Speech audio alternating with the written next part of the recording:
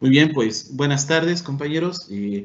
Bienvenidos a la conferencia magna que cierra nuestra, nuestro gran evento del, y, celebración del Día del Ingeniero.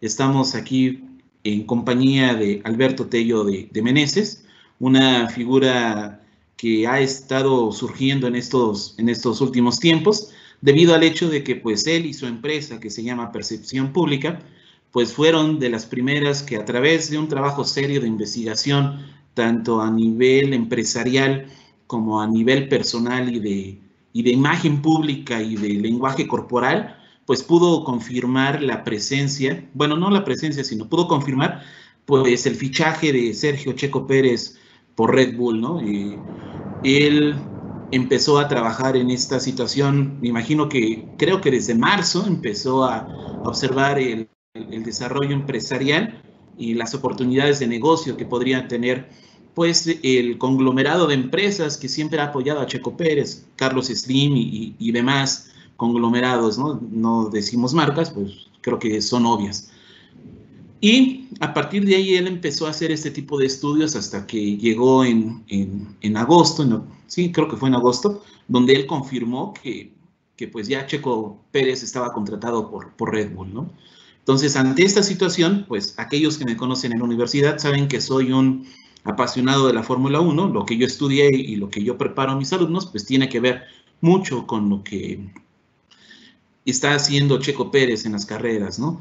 Y pues tomando en cuenta pues esta, este contexto de la celebración del Día del Ingeniero, pues tuvimos la, la grandiosa oportunidad de que Alberto aceptara la invitación y que nos viniera a platicar de todo lo que hay detrás de Checo Pérez y, cómo nosotros podemos volvernos un Checo Pérez en, nuestras relaciones profesionales, en nuestras relaciones intrapersonales y en, nuestras, en nuestra vida diaria, ¿no? Entonces, eh, pues sin más preámbulos, pues les dejo a Alberto, que estará platicándonos en una primera instancia de cómo fue el trabajo que realizó y después tendremos una, una sesión de, de preguntas y, respuestas que con mucho gusto un servidor va a estar moderando a través del chat que tengamos acá en, la, en el Teams. Entonces, pues, Alberto, muchísimas gracias por aceptar la invitación. No, pues al contrario, muchas gracias a, ustedes, maestro Adrián Maldonado, a, la Universidad Iberoamericana, eh, Campus Puebla, por supuesto al señor rector Mario Patrón, quien también amablemente nos, nos hizo favor de extender la invitación, el maestro Ramiro eh, Bernal. Eh, y bueno, no, se diga también, eh, aprecio y agradezco a Alma Tirado que nos ha estado apoyando en la gestión para que esto sea posible para toda la comunidad estudiantil de la Ibero Puebla y, y Alex Madera en la producción. Y pues sin más, como, como bien comentas, nos arrancamos. Eh, ya, ya venías eh, mencionando lo que fue el tema de Sergio Checo Pérez.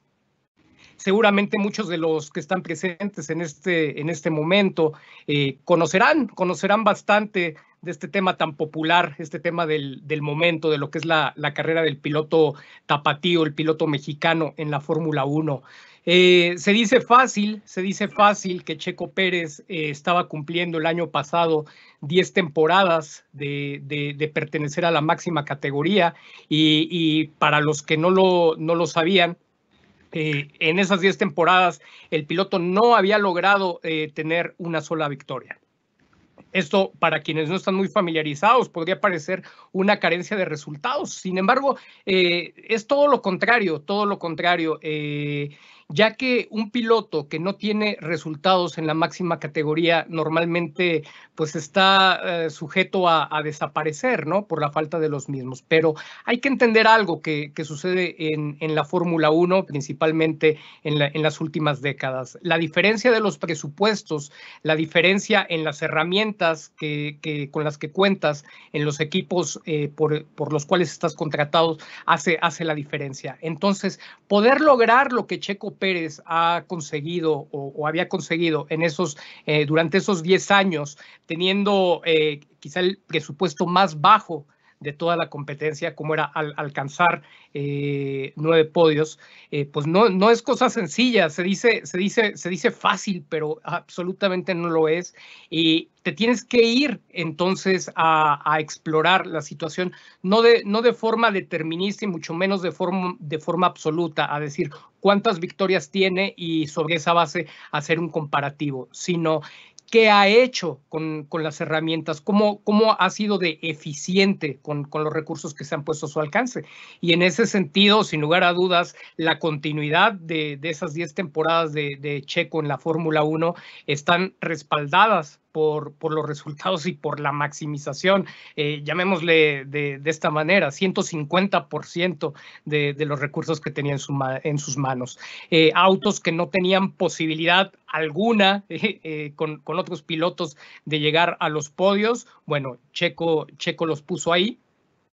Y, y claramente cuando vemos esta trayectoria de un deportista de alto rendimiento, y yo lo diría para cualquier profesional, para ustedes que se están capacitando para ejercer en distintas áreas de, las ciencias y, las ingenierías, eh, es, importante siempre estar convencidos de lo que están realizando, siempre mantener la disciplina, mantener el trabajo y mantener la, resiliencia y saber que a veces no necesariamente desde el principio se van a dar los resultados que queremos. Eh, un fenómeno que se ha dado en los últimos años en, la, vida diaria en, nuestra sociedad es que queremos eh, resultados inmediatos y los resultados inmediatos eh, se pueden dar, pero normalmente una característica de los resultados inmediatos es su poca consistencia o su poca durabilidad. Entonces, a veces sí se necesitan resultados inmediatos, pero sobre todo hay que sembrar bases muy sólidas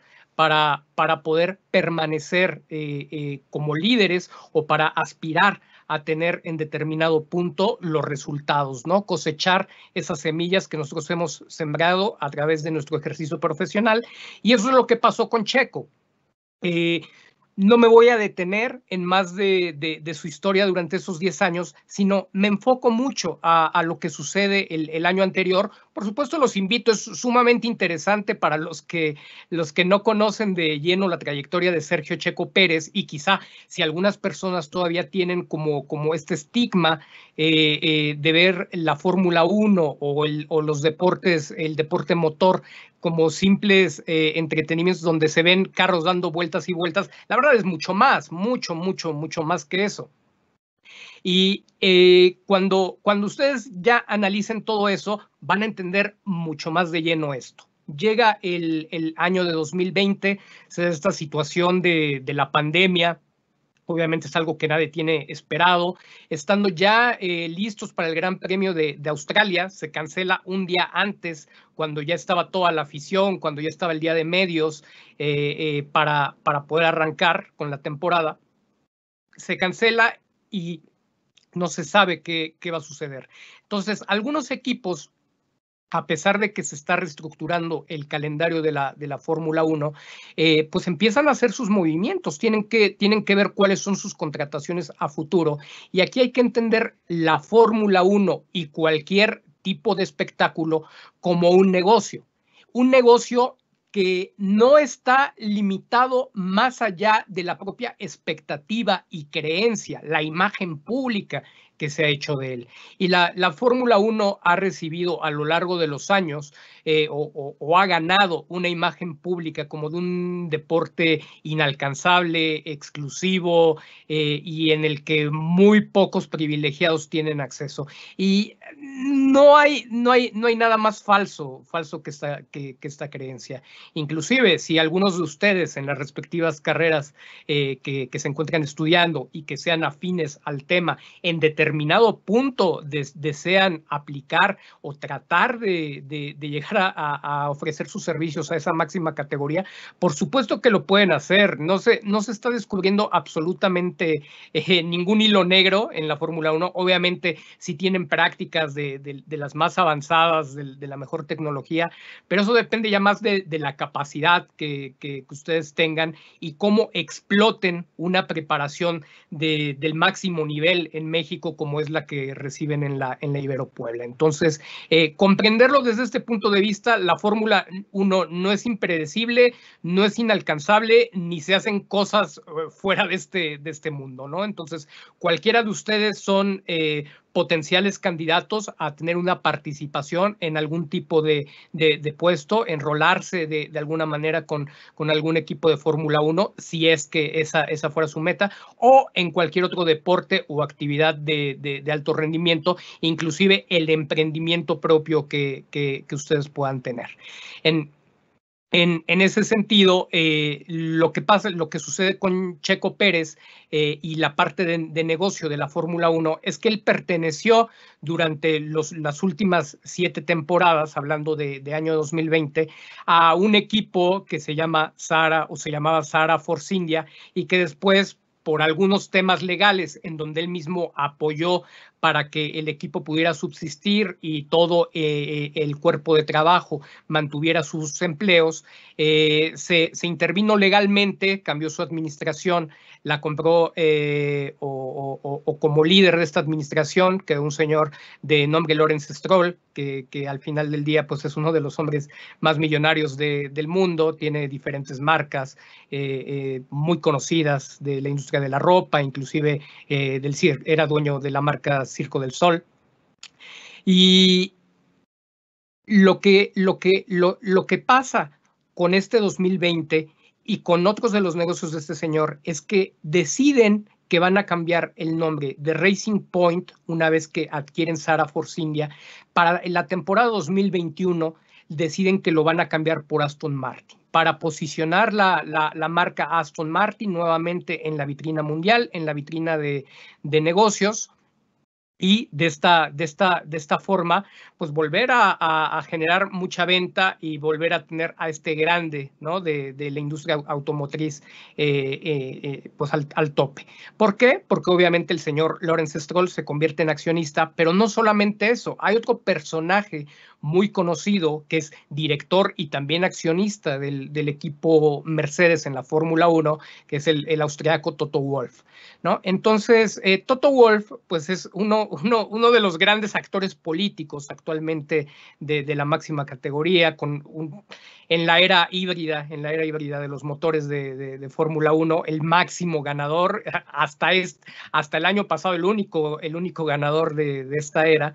Y, bueno, eh, una de las sugerencias que, que le da Toto Wolf al señor Lawrence Stroll como socios en este equipo Aston Martin que, vería la luz para 2021, pues es eh, tener un embajador de marca que, pueda llevar y que pueda posicionar, que pueda generar interés en el mercado europeo principalmente para la compra de los vehículos Aston Martin. ¿Y qué es lo que sucede? Que en el mes de mayo se da la noticia que el equipo más icónico y más popular de la Fórmula 1, como es Ferrari, eh, pues anuncia que no va a renovar al cuatro veces campeón mundial Sebastián Vettel en un hecho que para muchos resultaba inesperado. Y hacer una pausa y, marcar en ese sentido que la escudería Ferrari a, nivel de comunicación ha, generado, ha generado una, una distorsión en cómo se visualiza el trabajo de los dos pilotos que conforman cada escudería. Especialmente esta escudería Ferrari eh, por, por, muchos años ha hecho una gran diferencia entre lo que es su piloto número uno, el piloto consentido, el piloto sobre el cual se basan la, toma de decisiones, el piloto que tiene injerencia en, en, quién va a ser su compañero. Y todo esto se ha permeado como una generalidad hacia el resto de la categoría.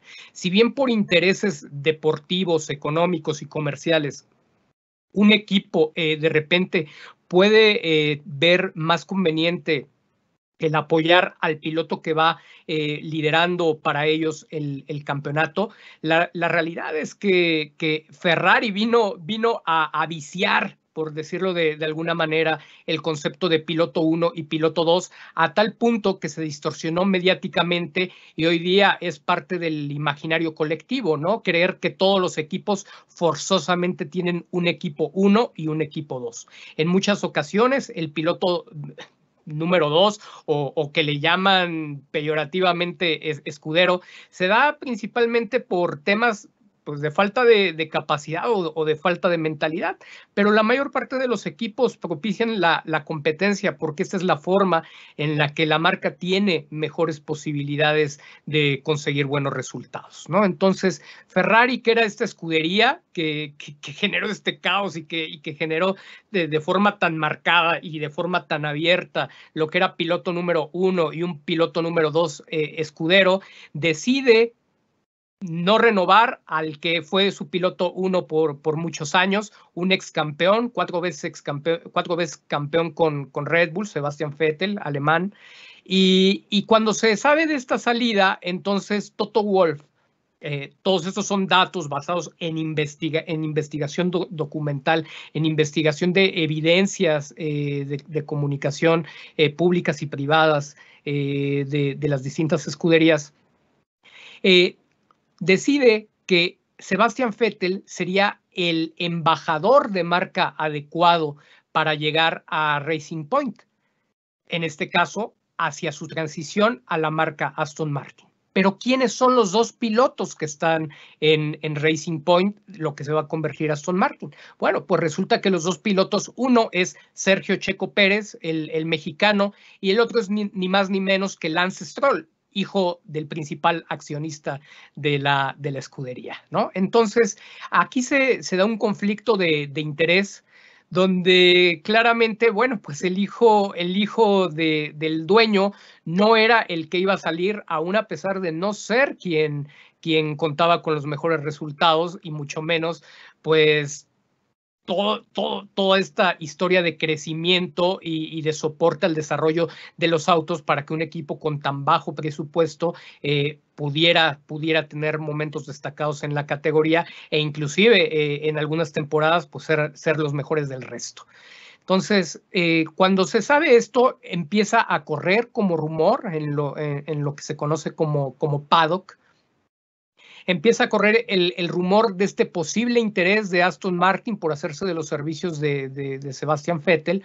Obviamente se empieza a especular eh, que el sacrificado sería Sergio Checo Pérez, a pesar de tener un contrato multianual firmado, un contrato al final del día no es garantía y, tiene determinadas cláusulas eh, que, permiten generar la desvinculación.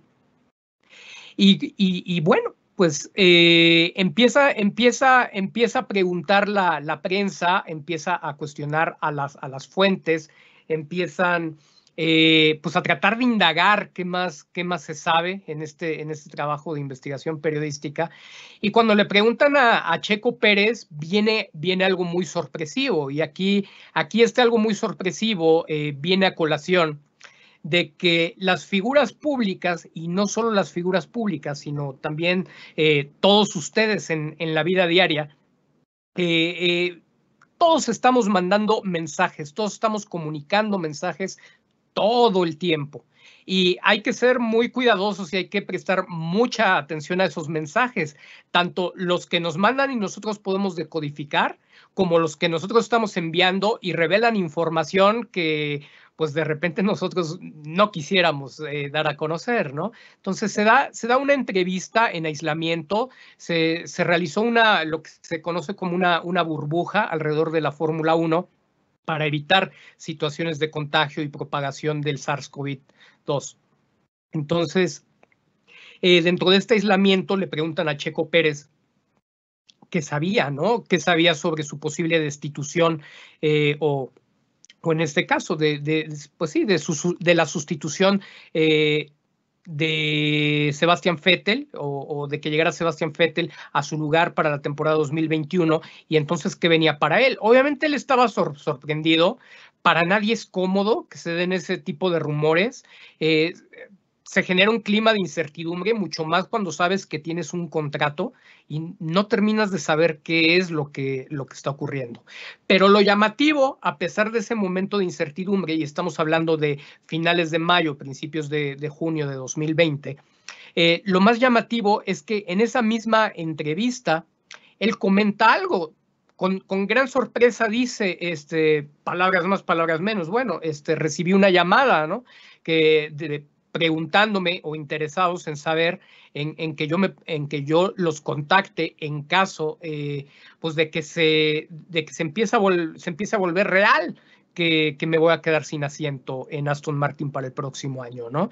Y cuando, cuando nosotros podemos leer como expertos, digo, es, es evidente que todos tenemos la capacidad de interpretar eh, la percepción, a, manera de percepción simple, todo lo que está pasando en nuestro entorno, y no necesariamente estamos capacitados para poder llegar a conclusiones eh, sólidas y, mucho menos fidedignas, eh, pues en este, en este caso había muchos datos que han analizar más allá del simple hecho de esa, de respuesta. Pero la respuesta de, de, forma llana, cuando uno se pone, se pone a ver los datos de cuáles eran los equipos disponibles y de dónde podía provenir esa llamada de la cual habló Checo Pérez, era, era revelador totalmente.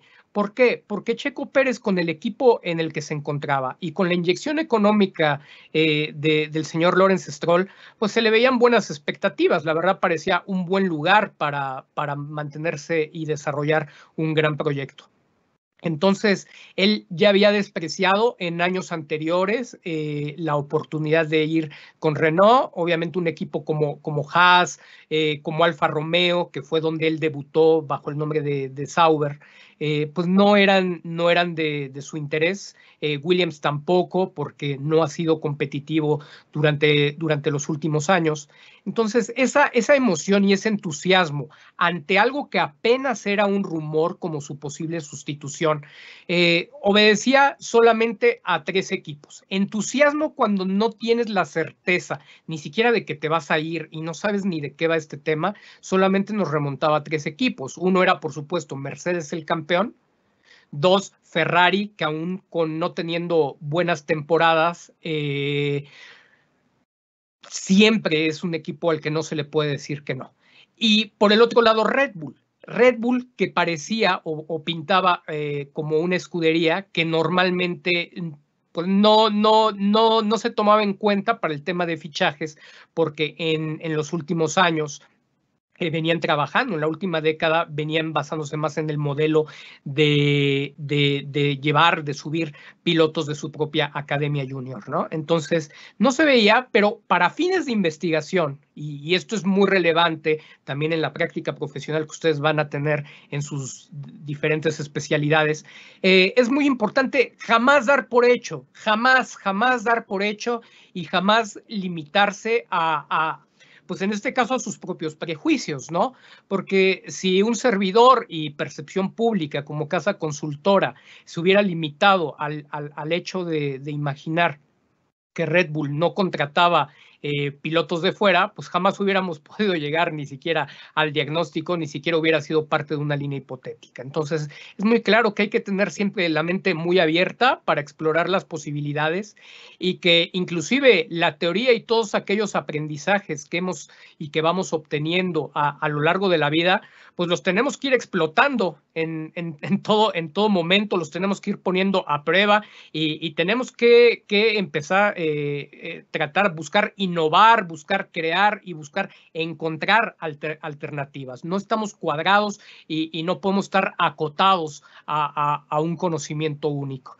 Entonces, eso, eso es parte de la visión eh, que tenemos en percepción pública, por lo cual, si bien consideramos los, los, nueve equipos posibles que, estaban eh, disponibles en caso de que saliera de, Racing Point, pues obviamente empieza el descarte. Ferrari Ferrari, por su, por su parte, eh, había anunciado justamente que no contrataría o que no renovaría a Sebastián Vettel porque eh, su alineación la iba a completar con, con el ya eh, vigente en ese momento Charles Leclerc y anunció la contratación de, de, Carlos Sainz como, como su compañero. ¿no?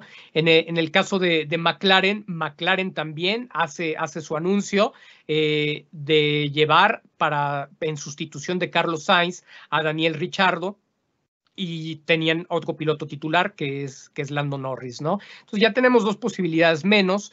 En cuanto a la estructura de, los propios Red Bull, bueno, Red Bull parecía complicado. La parte de Alfa Tauri sí ha estado más acotada en el, totalmente en el patrón a, llevar, a, subir a, pilotos de, de, su propia academia, ¿no? Si bien volvemos a decir, no podemos ser absolutistas, ahí sí queda, queda muy claro que en ningún punto de, todo el camino se había visto una, una decisión diferente y aunque no es imposible o no era imposible que se diera, era, era muy poco viable. Luego vimos la opción de Mercedes. En la opción de Mercedes, bueno, pues estaba Valtteri Bottas. Eh, a Valtteri Bottas, junto con Lewis Hamilton, el campeón no iba a salir del equipo en ese caso.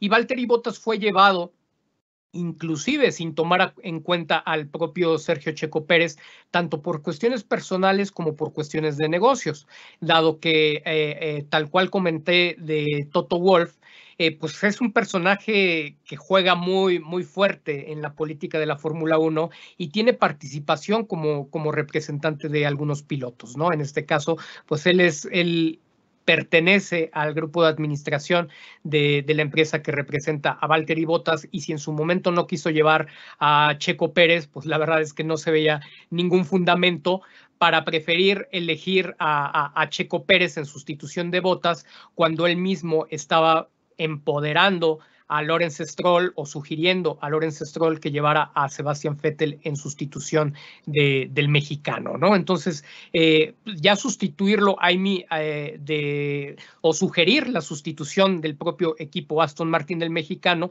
nos hablaba, nos hablaba entre líneas que Toto Wolf realmente no tenía ningún interés en, la carrera de Checo, desafortunadamente, y acotado a que Haas ya lo había rechazado, que no estaba en su momento, que Checo siempre está buscando algo más competitivo, que Williams eh, estaba en, un, en, una situación similar, que Renault pues ya también lo, lo, había, lo había rechazado en determinado momento y que se le vio esa alegría, es que la alegría fue manifiesta, eh, bueno, más que la alegría, la sorpresa, el sorprenderte te tienes que sorprender de algo que no te había ocurrido, de algo que no esperabas.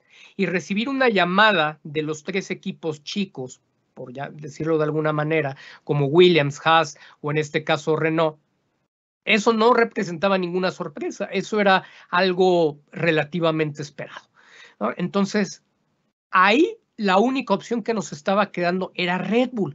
Pero entonces Red Bull se puede o no se puede cuando Red Bull eh, tiene dos pilotos, uno que era la estrella eh, en auge, a quien mercadológicamente, Red Bull es la marca que mejor, que mejor se mueve mercadológicamente porque es una marca eh, cuyo núcleo de negocio son las bebidas energéticas. Ni siquiera es la Fórmula 1 como tal o el mundo automotor. Entonces, para ellos es relevante hacer publicidad alternativa mediante la presencia, la exposición eh, eh, de su marca en, todo momento. ¿Y cuál era entonces la, posible relación o cuál era la posibilidad de que Checo pudiera llegar a, Red Bull? Bueno, pues ahí nos dimos, a, nos dimos a la tarea en las distintas líneas de hipótesis es, cierto que, no nos costó como, como consultoría y a nivel de un peritaje técnico, fue relativamente fácil llegar a un descarte de dónde había provenido la, llamada o quién era. En realidad, la clave, la pieza angular es quién había hecho esta llamada, quién estaba poniendo ilusión en el propio rostro de Checo en medio de un momento de incertidumbre. Entonces, eh, empezamos, empezamos a indagar por todo esto. Nadie teníamos certeza si, de que le iban a incumplir el, contrato a Sergio Checo Pérez. Todo, todo era un rumor y la Fórmula 1, al igual que muchos espectáculos, pues está rodeada de rumores. Entonces, primero había que ser muy prudentes, muy cautos en descartar o en saber si verdaderamente se iba a tomar esta decisión. Conforme empezó a avanzar eh, el proceso de comunicación. Eh, nosotros desde la parte de, la comunicación estratégica eh, damos, damos manejo de medios, entrenamos para el manejo de medios a figuras públicas, escuderías, pilotos, etcétera, políticos, lo que sea, no importa el, ámbito. Y entonces, al igual que, que ustedes en sus respectivas profesiones, van a poder encontrar patrones o procesos que son, que son afines a la construcción de, de modelos, de, de, modelos que ustedes conocen y que ustedes utilizan o que van a utilizar dentro, dentro de sus profesiones. Entonces, nosotros eh, detectamos, hicimos la detección, tuvimos los hallazgos de estos, de estos procesos, de estos patrones y de estos modelos completos de, de, comunicación que, que, nos permitieron eh, irle dando solidez al caso. De hecho, bueno, pues aquí comentar, creo que nunca hubiéramos podido eh, avanzar en un peritaje técnico, legal, como, como el que se realizó a la contratación de Sergio Checo Pérez, eh, si la pandemia no se hubiera presentado. La verdad es que eh, por, aquellos meses, pues había mucha, mucha incertidumbre, no había claridad hasta para nuestros clientes. Eh, eso nos permitió algunos tiempos libres y el poder impulsar o lanzar esto como un programa de responsabilidad social, donde, donde cabía la posibilidad de llegar al público eh, relacionado con la Fórmula 1 de herramientas para comprender eh, eh, pues, lo que es su consumo de la información, ¿no? El, uso y consumo de la información. Dado que tenemos una saturación pues de, de, de, vías digitales, tradicionales, de boca en boca, y es muy fácil caer en, la, en las fake news, ¿no? Entonces, eh, algo, algo que es, sumamente relevante y que es un gran consejo en la parte de comunicación es verdaderamente no confíen en sus prejuicios, no den por hecho aquello, aquello que, que, a ustedes les, resuena, les resuena tanto, porque muchas veces eh, estamos siendo enganchados mediáticamente, eh, pues por la parte emocional, ¿no? Se nos dice lo que queremos oír. Esto pasa desde, desde las parejas, ¿eh? hasta, hasta desde sus relaciones personales. Cuando nos dicen eh, eh, lo que queremos oír, pues somos más susceptibles de, ser persuadidos, de, ceder a, los intereses o a las situaciones que, se nos están manifestando. ¿no? Entonces, eh, nada de lo que estamos viviendo actualmente con tantas vías de, comunicación nos tiene exentos de ello. Y conforme fue avanzando el proceso de, Sebastián Vettel, el director eh, Otmar Safnauer, el director de Racing Point, eh, pues comentaba que a Checo Pérez se le iba a respetar eh, el contrato, que no había nada que discutir, que no había nada de qué hablar, pero al final del día había, había varias incongruencias. El tema, el tema iba avanzando de forma paralela en el manejo mediático, en las declaraciones que emitía el propio Sebastián Vettel y en algunos estímulos que se veían en el paddock, ¿no? Desde, desde las, los saludos, relación de Lorenz con, con el alemán, eh, eh, etcétera, ¿no? Y paralelamente nosotros íbamos investigando cuáles eran las probabilidades. Las de Ferrari estaban fuera, las de Mercedes se veían totalmente fuera, o sea, hay un punto en donde le, das una probabilidad mínima, en realidad quedó, quedó descartado de esta carrera muy pronto. Y lo de Red Bull seguía vivo, porque conforme más empezamos a investigar, llegamos a la sorpresa, aún, aún siendo eh, personas que, hemos visto por muchos, por muchos años la, la Fórmula 1, a veces es complicado recordar ciertos detalles. Y entre esos ciertos detalles, un, un detalle que se nos había eh, olvidado o no estábamos viendo en ese momento, era que Checo Pérez debuta en la Fórmula 2 eh, lo que era para, para, ese año 2009 la GP2, debuta con un equipo propiedad de Christian Horner. Christian Horner, ni más ni menos, es el CEO, es el director operativo de la escudería Red Bull Racing. Entonces, a pesar de que en el paddock la verdad es que se veía muy poca, muy poca relación o, durante esos 10 años no, no, se veía demasiada cercanía entre un personaje como Checo Pérez y Christian Horner, la verdad eran viejos, totalmente viejos conocidos y, y bueno, empezó a salir a través de la investigación, entonces empezaron a refrescar estos datos y, llegamos a un segundo punto. No solamente Christian Horner había debutado a Sergio Checo Pérez con grandes comentarios eh, eh, acerca pues, del talento de este, de este joven mexicano, sino que también el patrocinador principal de la escudería Arden, en ese momento propiedad de, Christian Horner, eh, pues era ni más ni menos que, que, la familia Slim. ¿No? A través de lo que se conoce como la escudería Telmex. Y, bueno, eh, pues no solamente Sergio, no solamente el piloto había recibido confianza, no solamente habían podido ver cuáles eran sus resultados. De hecho, después de esa temporada, Checo salta a uno de los equipos top de la, de la, de la GP2, o sea, claro que se vio cuál era, cuál era su talento, pero también tenemos que entender otra parte. Limitar la práctica de la Fórmula 1 a leerla o analizarla desde la parte deportiva no funciona. Eh, un, piloto, por muchos considerado como el mejor de la historia, Ayrton Senna, pues en, muchas ocasiones manifestó ¿no? que, la Fórmula 1 pues es, es, un mundo político en el, en el cual a veces el talento no basta. Por supuesto, el talento no basta, pero el talento tampoco sobra. Eh, de, esa, de, esa, de esa manera tenemos que entender que Checo Pérez, inclusive a pesar de ser un piloto sumamente talentoso, si no hubiera contado con, con el apoyo económico, con el respaldo de la familia Slim, hubiera tenido casi de, de, forma imposible su llegada a la Fórmula 1, mucho más en un entorno donde principalmente el piloto europeo es el que, el que es tomado en cuenta.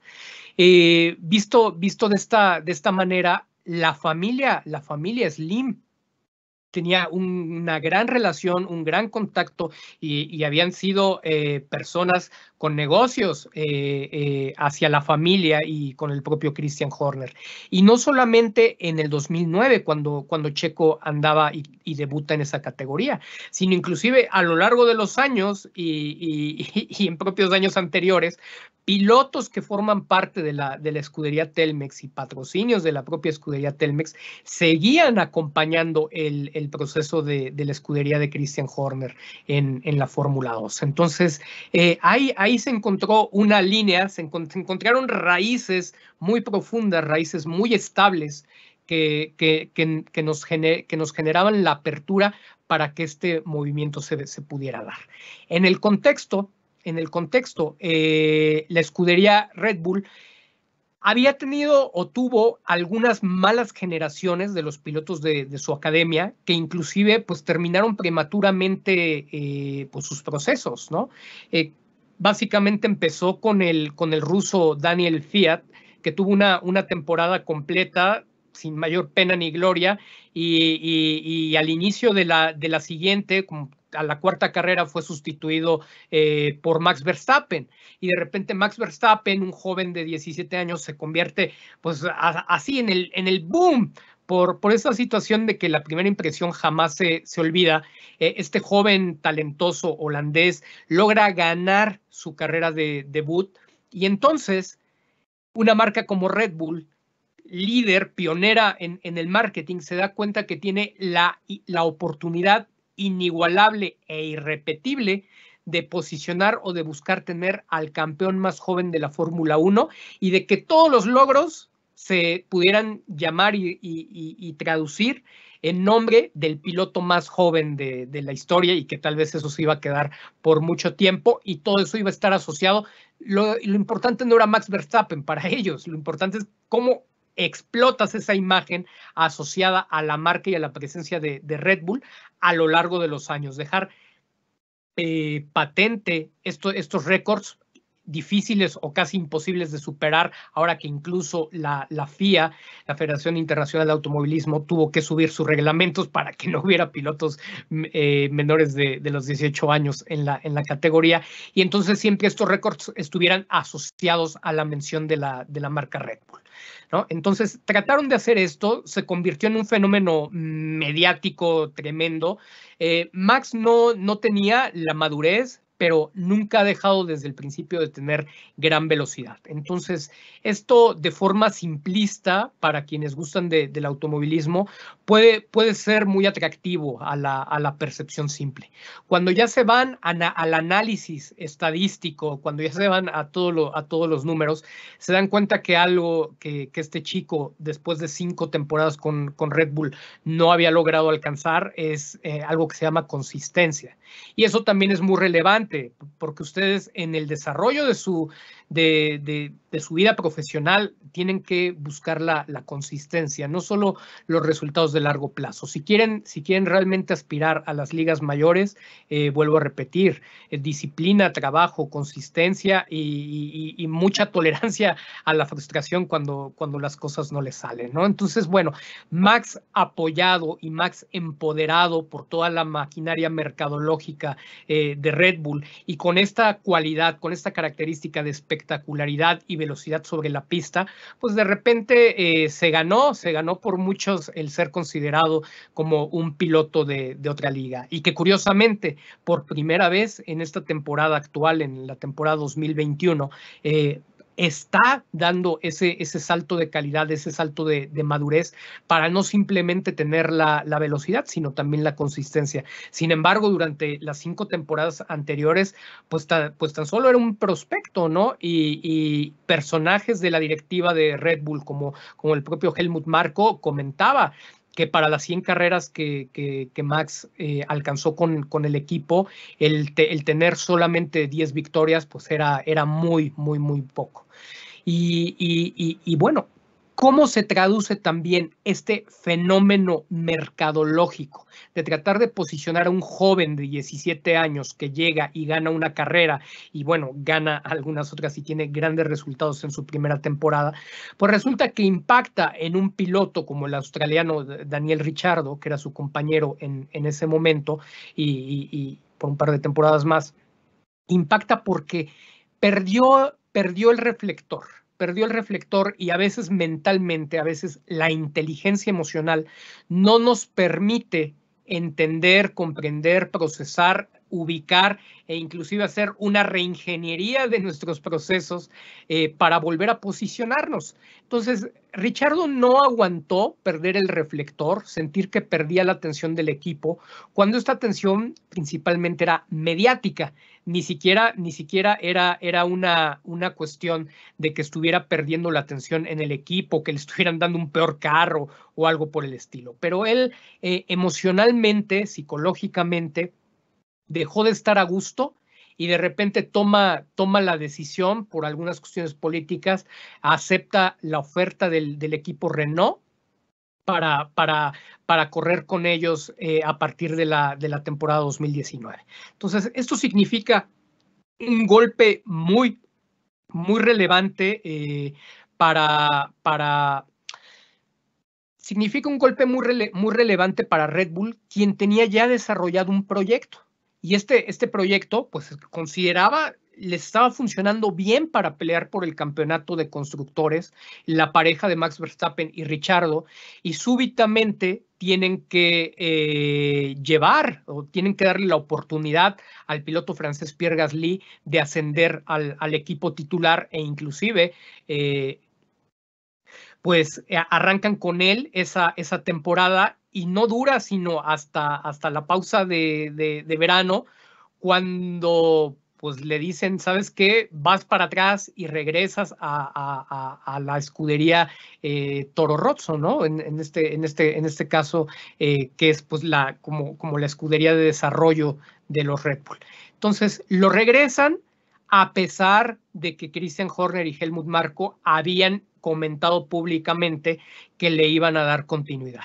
No dio para más ese proceso, ellos no estuvieron satisfechos con la mentalidad eh, eh, y por los resultados mostrados por el piloto francés y le dan la oportunidad entonces de ascender a un piloto anglo-tailandés eh, como Alex Albon.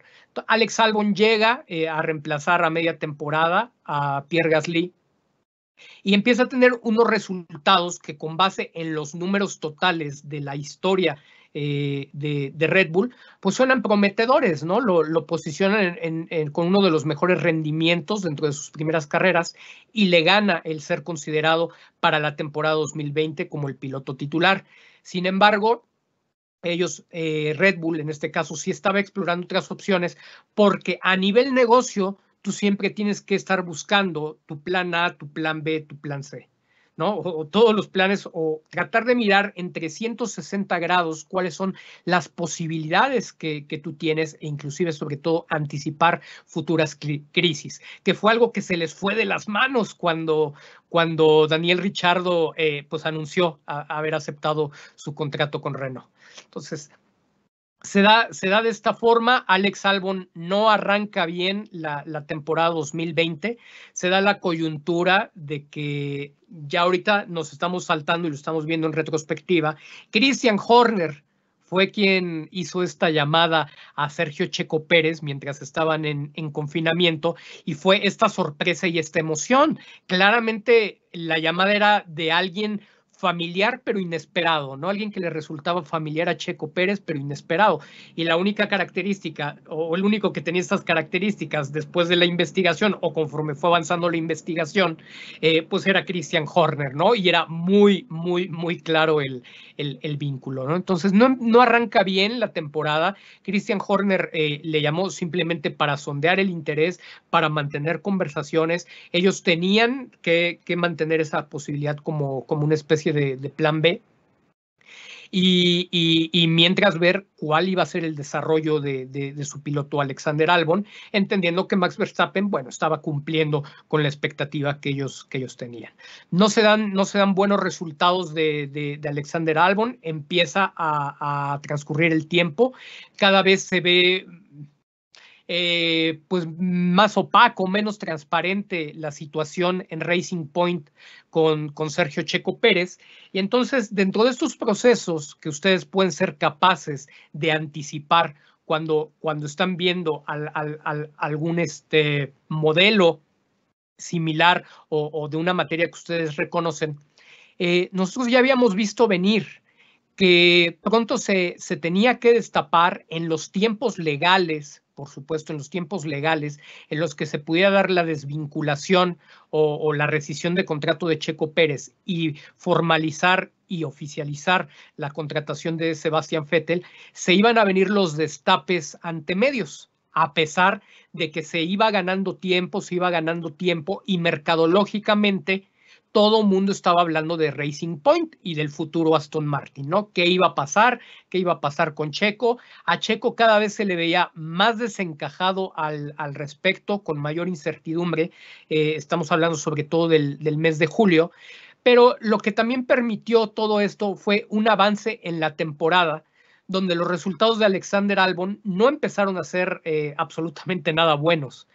Es ahí donde podemos armar el mapa de que la directiva de Red Bull toma la decisión de ir de manera firme por la contratación de, Sergio Checo Pérez y la destitución de Alexander Albon en, el equipo principal de, Red Bull, ¿no? Entonces, empezamos a ver todos estos pasos. Por supuesto, nunca se había reportado ninguna cercanía, ningún contacto con Red Bull, ninguna plática con otra escudería, porque lo primero mediáticamente que se tenía que resolver era que verdaderamente pues se iba a dar, se iba a dar el cambio, ¿no? Eh, Sebastián Vettel sustituyendo a Checo Pérez y Checo Pérez, digamos, en el aire, ¿no? Con, con incertidumbre para su asiento 2021. Entonces, eh, dentro de estos procesos, cuando ya se formalizara la decisión de que Red Bull iba a ir por los servicios de Sergio, de Sergio Checo Pérez, el siguiente movimiento mediático, en el manejo mediático del propio equipo de relaciones públicas eh, de, Red Bull, tenía que ser filtrar o compartir un posible acercamiento o un acercamiento con, con, el piloto mexicano. Pero no se iba a compartir este acercamiento, sino hasta que ya tuvieran tomada la decisión y que legalmente no hubiera ningún vínculo que pudiera perjudicar la negociación que, que, ya se tenía que empezar a llevar a cabo. Entonces, todas estas decisiones y todas estas negociaciones y todos estos movimientos se dan para el mes de agosto del, del, año, del año pasado. Y una vez que entonces todo está concreto, todo esto está en firme, para el mes de septiembre, cuando, cuando el director de la escudería Racing Point, eh, Otmar Safnauer, eh, revela o, asegura que, que, no hay nada de qué hablar en relación a movimientos del equipo, que Checo tiene contrato, eh, nos llevamos la sorpresa que unas cuantas horas después es el propio Checo Pérez, a través de sus redes sociales, quien da a conocer a través de comunicado de prensa su desvinculación del, del equipo. Entonces, todos los datos comunican. ¿Por qué, ¿Por qué el equipo de manera oficial unas horas antes había dado a conocer que no iba a haber movimientos y Checo Pérez, en cuanto legalmente está habilitado para señalar de manera formal que no va a continuar, es el que, el que hace el destape? Pues claramente porque a Racing Point no le convenía destapar mercadológicamente que iba a haber cambios mientras esta telenovela, algo que llamamos storytelling, en, la construcción, en la ingeniería. Les, comparto, yo también soy ingeniero en, ese sentido, no solamente ingeniero de audio, sino y este, ingeniero en, imagen pública. Entonces, en, esta ingeniería de construcción del proceso de la comunicación estratégica, tú también armas un storytelling que no es muy distinto al, de las películas, al de las series, al de las obras de, teatro, donde por supuesto tratas de, de maximizar eh, pues la expectativa, ¿no? Que mantener, mantener a tu audiencia pendiente, pendiente de la temática, pendiente de qué es lo que va a suceder, de cómo se van desarrollando eh, eh, los hechos, ¿no?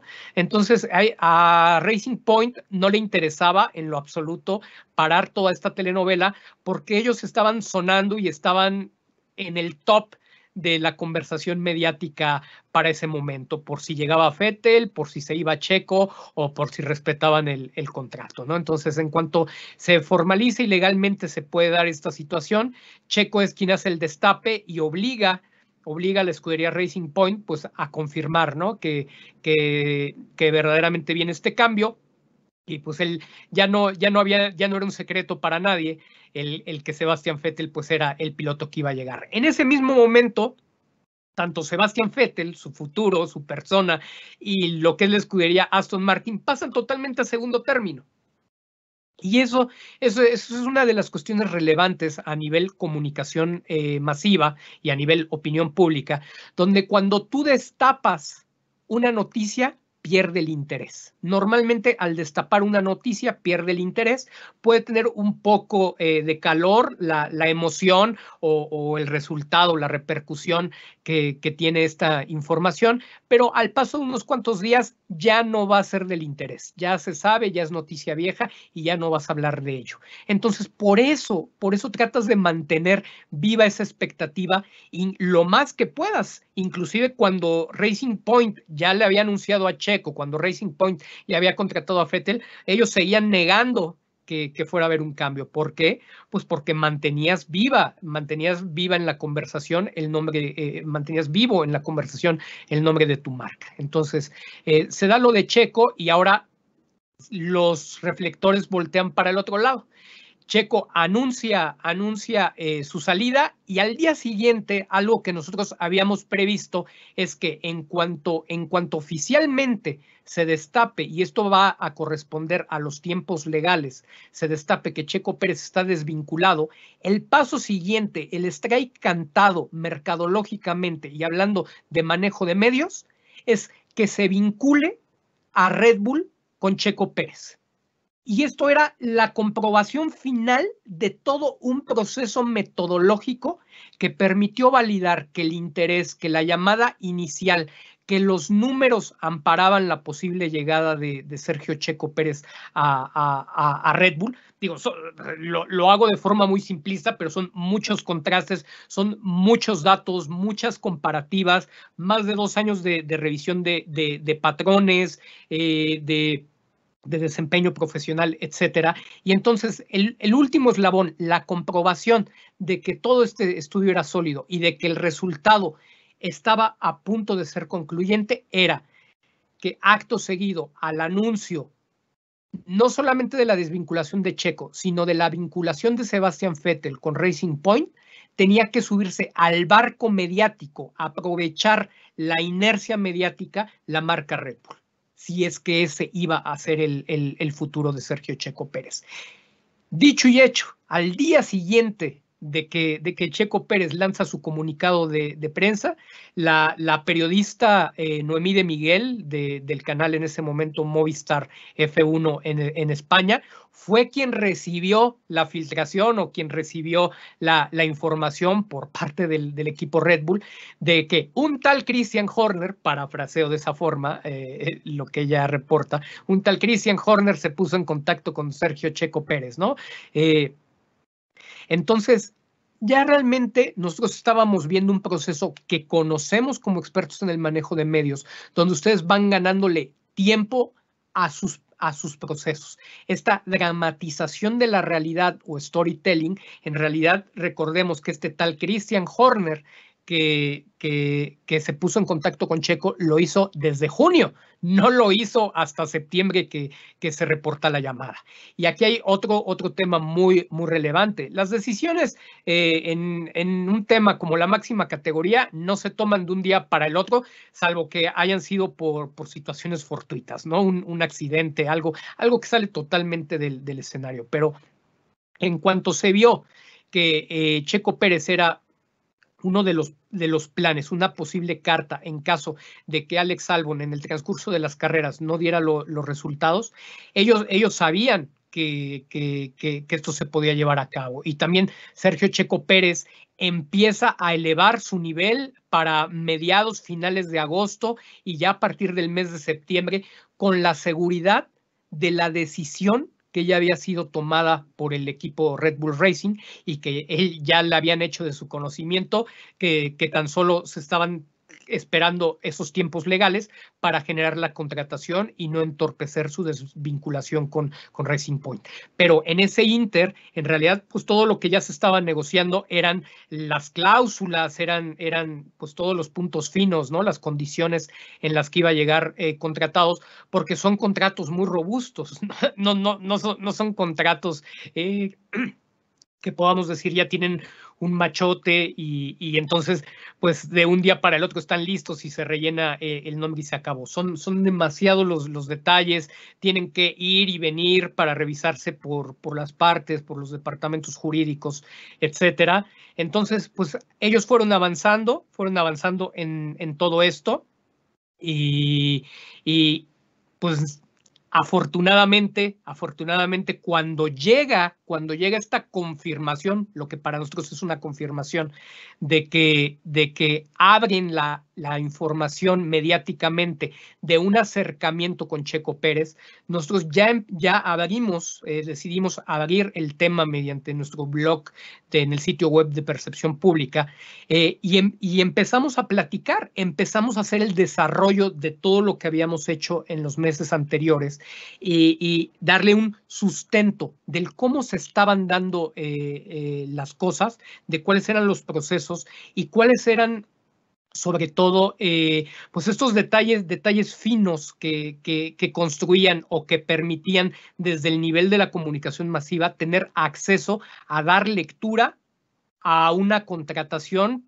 que suele ser un proceso eh, totalmente, totalmente cuidado como si fuera tema de seguridad nacional, donde no hay filtraciones, donde nadie te suelta nada y donde un trabajo periodístico que se limita a la entrevista de fuente directa, pues normalmente va a ser insuficiente porque esa fuente directa únicamente va a comunicar lo que los profesionales de, la comunicación estratégica y las relaciones públicas, pues les estamos sugiriendo que, que, mencionen. ¿no? Entonces, eh, se da todo este proceso, nosotros sube sube eh, la valoración a 90% eh, de fiabilidad en el resultado, la posibilidad de que, de que Sergio Checo Pérez sea el próximo nuevo piloto de, Red Bull Racing. Aún así, a pesar de que era muy alto el hablar de un 90%, de un 90% eh, para nosotros todavía no podía ser concluyente, ¿no? Entonces, seguimos, seguimos, ¿por qué? Porque se empieza a volver pública mucha información que en realidad no está ocurriendo en ese momento, pero que ya nos están dosificando, que ya nos están dejando conocer. Y sale otro tema, eh, los patrocinios en el tema de telecomunicaciones. Y en el tema de telecomunicaciones, eh, Red Bull tenía un contrato, un acuerdo multianual ya por muchos años con, el líder mundial de telecomunicaciones que es ATT. Y sabemos que había bastante interés eh, de los patrocinadores de Sergio Checo Pérez en poder llegar a una escudería como Red Bull Racing apoyándolo. Entonces, eh, ahí empezamos a leer hasta qué punto podía complicar el, interés de los patrocinadores de América Móvil y el patrocinador actual ATT podía complicar la llegada de Sergio Checo Pérez. Felizmente, a una conclusión que, llegamos es que Sergio Checo Pérez no fue contratado por Red Bull Racing debido a sus patrocinadores. Los patrocinadores, los que pudieran llegar, eran tan solo un valor agregado que, no era despreciable para ninguna escudería, pero que en el caso de, Red Bull Racing pues, simplemente le ayudaba a, poder dividir o solventar algunos gastos, incluidos hasta, hasta los, del mismo, los del mismo piloto, ¿no? Pero la contratación de Sergio Checo Pérez en, en el tenor o en la justificación comercial más allá de la deportiva, los números deportivamente les daban para que fuera el mejor piloto, el mejor perfil para que pudiera llegar a, empoderar a la escudería Red Bull Racing en la búsqueda del campeonato de constructores. Pero en la parte comercial era un piloto que no estaba ni siquiera entre los más caros, no percibía uno de los sueldos más altos, lo cual también ayudaba mucho para sus finanzas, pero por el otro lado, pero por el otro lado, el mercado número uno, hablando eh, de venta de bebidas energéticas, es Norteamérica. El segmento norteamericano para toda la industria de bebidas energéticas es el mercado principal, es el mercado que más consume eh, bebidas energéticas. Y entonces, Sergio Checo Pérez era un gran embajador, así como consideraron que Sebastián Vettel era un gran embajador para vender Aston Martins en, Europa. Checo Pérez era la figura ideal para posicionar y para ser embajador de marca de bebidas energéticas Red Bull en toda, en toda la parte norte, ¿no? En, el, en la parte norte de, de, nuestro continente, no solamente los Estados Unidos, sino por supuesto también México y, y Canadá. Entonces, totalmente les llenaba, les llenaba la pinza en cuanto en cuanto ellos vieron que todo estaba disponible, no titubearon, no, no dudaron y de la mano con el declive de Alexander Albon en la, en la parte deportiva, eh, pues la, la decisión estaba, estaba tomada se llegaron varios indicadores adicionalmente, adicionales eh, durante, durante el mes de octubre. Principalmente empezamos a ver la progresión de las entrevistas y aquí es muy importante, estas entrevistas, si bien son públicas, eh, todos tenemos acceso a, a, través de distintas cadenas, también eh, yo compartirles, ¿no? Ustedes van a estar sujetos a muchas entrevistas, ojalá que, ojalá que, que sus empresas y ustedes como profesionales sean sean, tan relevantes en, su desempeño profesional que puedan tener entrevistas públicas, pero aunque no sean entrevistas públicas, cuando ustedes van con, con entrevistadores a solicitar trabajo o cuando ofrecen sus servicios, tengan, tengan, tengan, pongan mucha atención, presten mucha atención, no se limiten únicamente a lo que saben en la parte de la ciencia y en la parte de, la técnica, porque a veces es un, es un error muy grave que, que cometemos. Pensar en que en que el fondo es más importante que la forma, cuando forma y fondo tienen que ir en un equilibrio perfecto. Entonces, eh, inviertan, inviertan también en sus procesos de comunicación personal y eso les va a permitir tener mucho éxito e inclusive, en el mejor de los escenarios, no mandar o no revelar información indeseada a las personas que los están entrevistando o a las personas a las que les están tratando de posicionar una idea o de vender un producto o servicio. En este caso, Checo Pérez, eh, pues no con, una, no con un buen respaldo de preparación mediática, empezó a soltar mucha, pero mucha, cualquier cantidad de información que nosotros fuimos compartiendo, sobre todo las cosas que eran, digamos, más evidentes y que podían eh, juzgarse e, es difícil. Si, si, si, si, nosotros no tenemos una preparación en ciencias ingenierías, pues obviamente ustedes van a ver cosas de las cuales no, no, no nos van a poder hacer entender si nosotros no estamos al mismo nivel. Y de la misma manera, si en comunicación eh, a lo mejor la persona no tiene esta preparación, no tiene este ojo entrenado y estos criterios adecuados, eh, la experiencia para poder leer la percepción eh, de, de las cosas, pues tal vez pueda ser equivocado. En nuestro caso, cuando empezamos a leer todo lo que estaba pasando en esas entrevistas, pues los mensajes fueron contundentes. Checo Pérez no solamente ya sabía pues quién, quién era ese equipo o cuál era esa, esa posibilidad, ya sabía que era Red Bull, no solamente ya había descartado los demás equipos, él lo dijo y, y, lo pueden consultar en, eh, tanto en, el en los blogs de percepcionpublica.com como también en la cuenta de Twitter de, de, Percepción Pública. Fuimos subiendo, compartiendo mucho material audiovisual donde él mismo iba, iba, dando, iba dando las respuestas. Eh, a veces lo que no queremos oír es porque estamos viciados con nuestros prejuicios y lamentablemente, y yo sé que, gracias a ustedes y, gracias a, personajes destacados como Sergio Checo Pérez, vamos a ir cambiando esta mentalidad. Eh, de repente los mexicanos y algunos hermanos latinos somos muy derrotistas, somos demasiado derrotistas y a veces también tenemos demasiados resentimientos sociales que no nos permiten apoyar el, el crecimiento de los demás. Entonces, creo que sí tenemos que crecer mucho en, la, en confiar en nosotros mismos, en respaldar procesos propios y, ajenos y pues sobre todo, o sea, obviamente esto solamente se puede lograr con base, repito, en la disciplina, el trabajo y la tolerancia a la frustración cuando los, los resultados no llegan tan rápido o no son los, los esperados.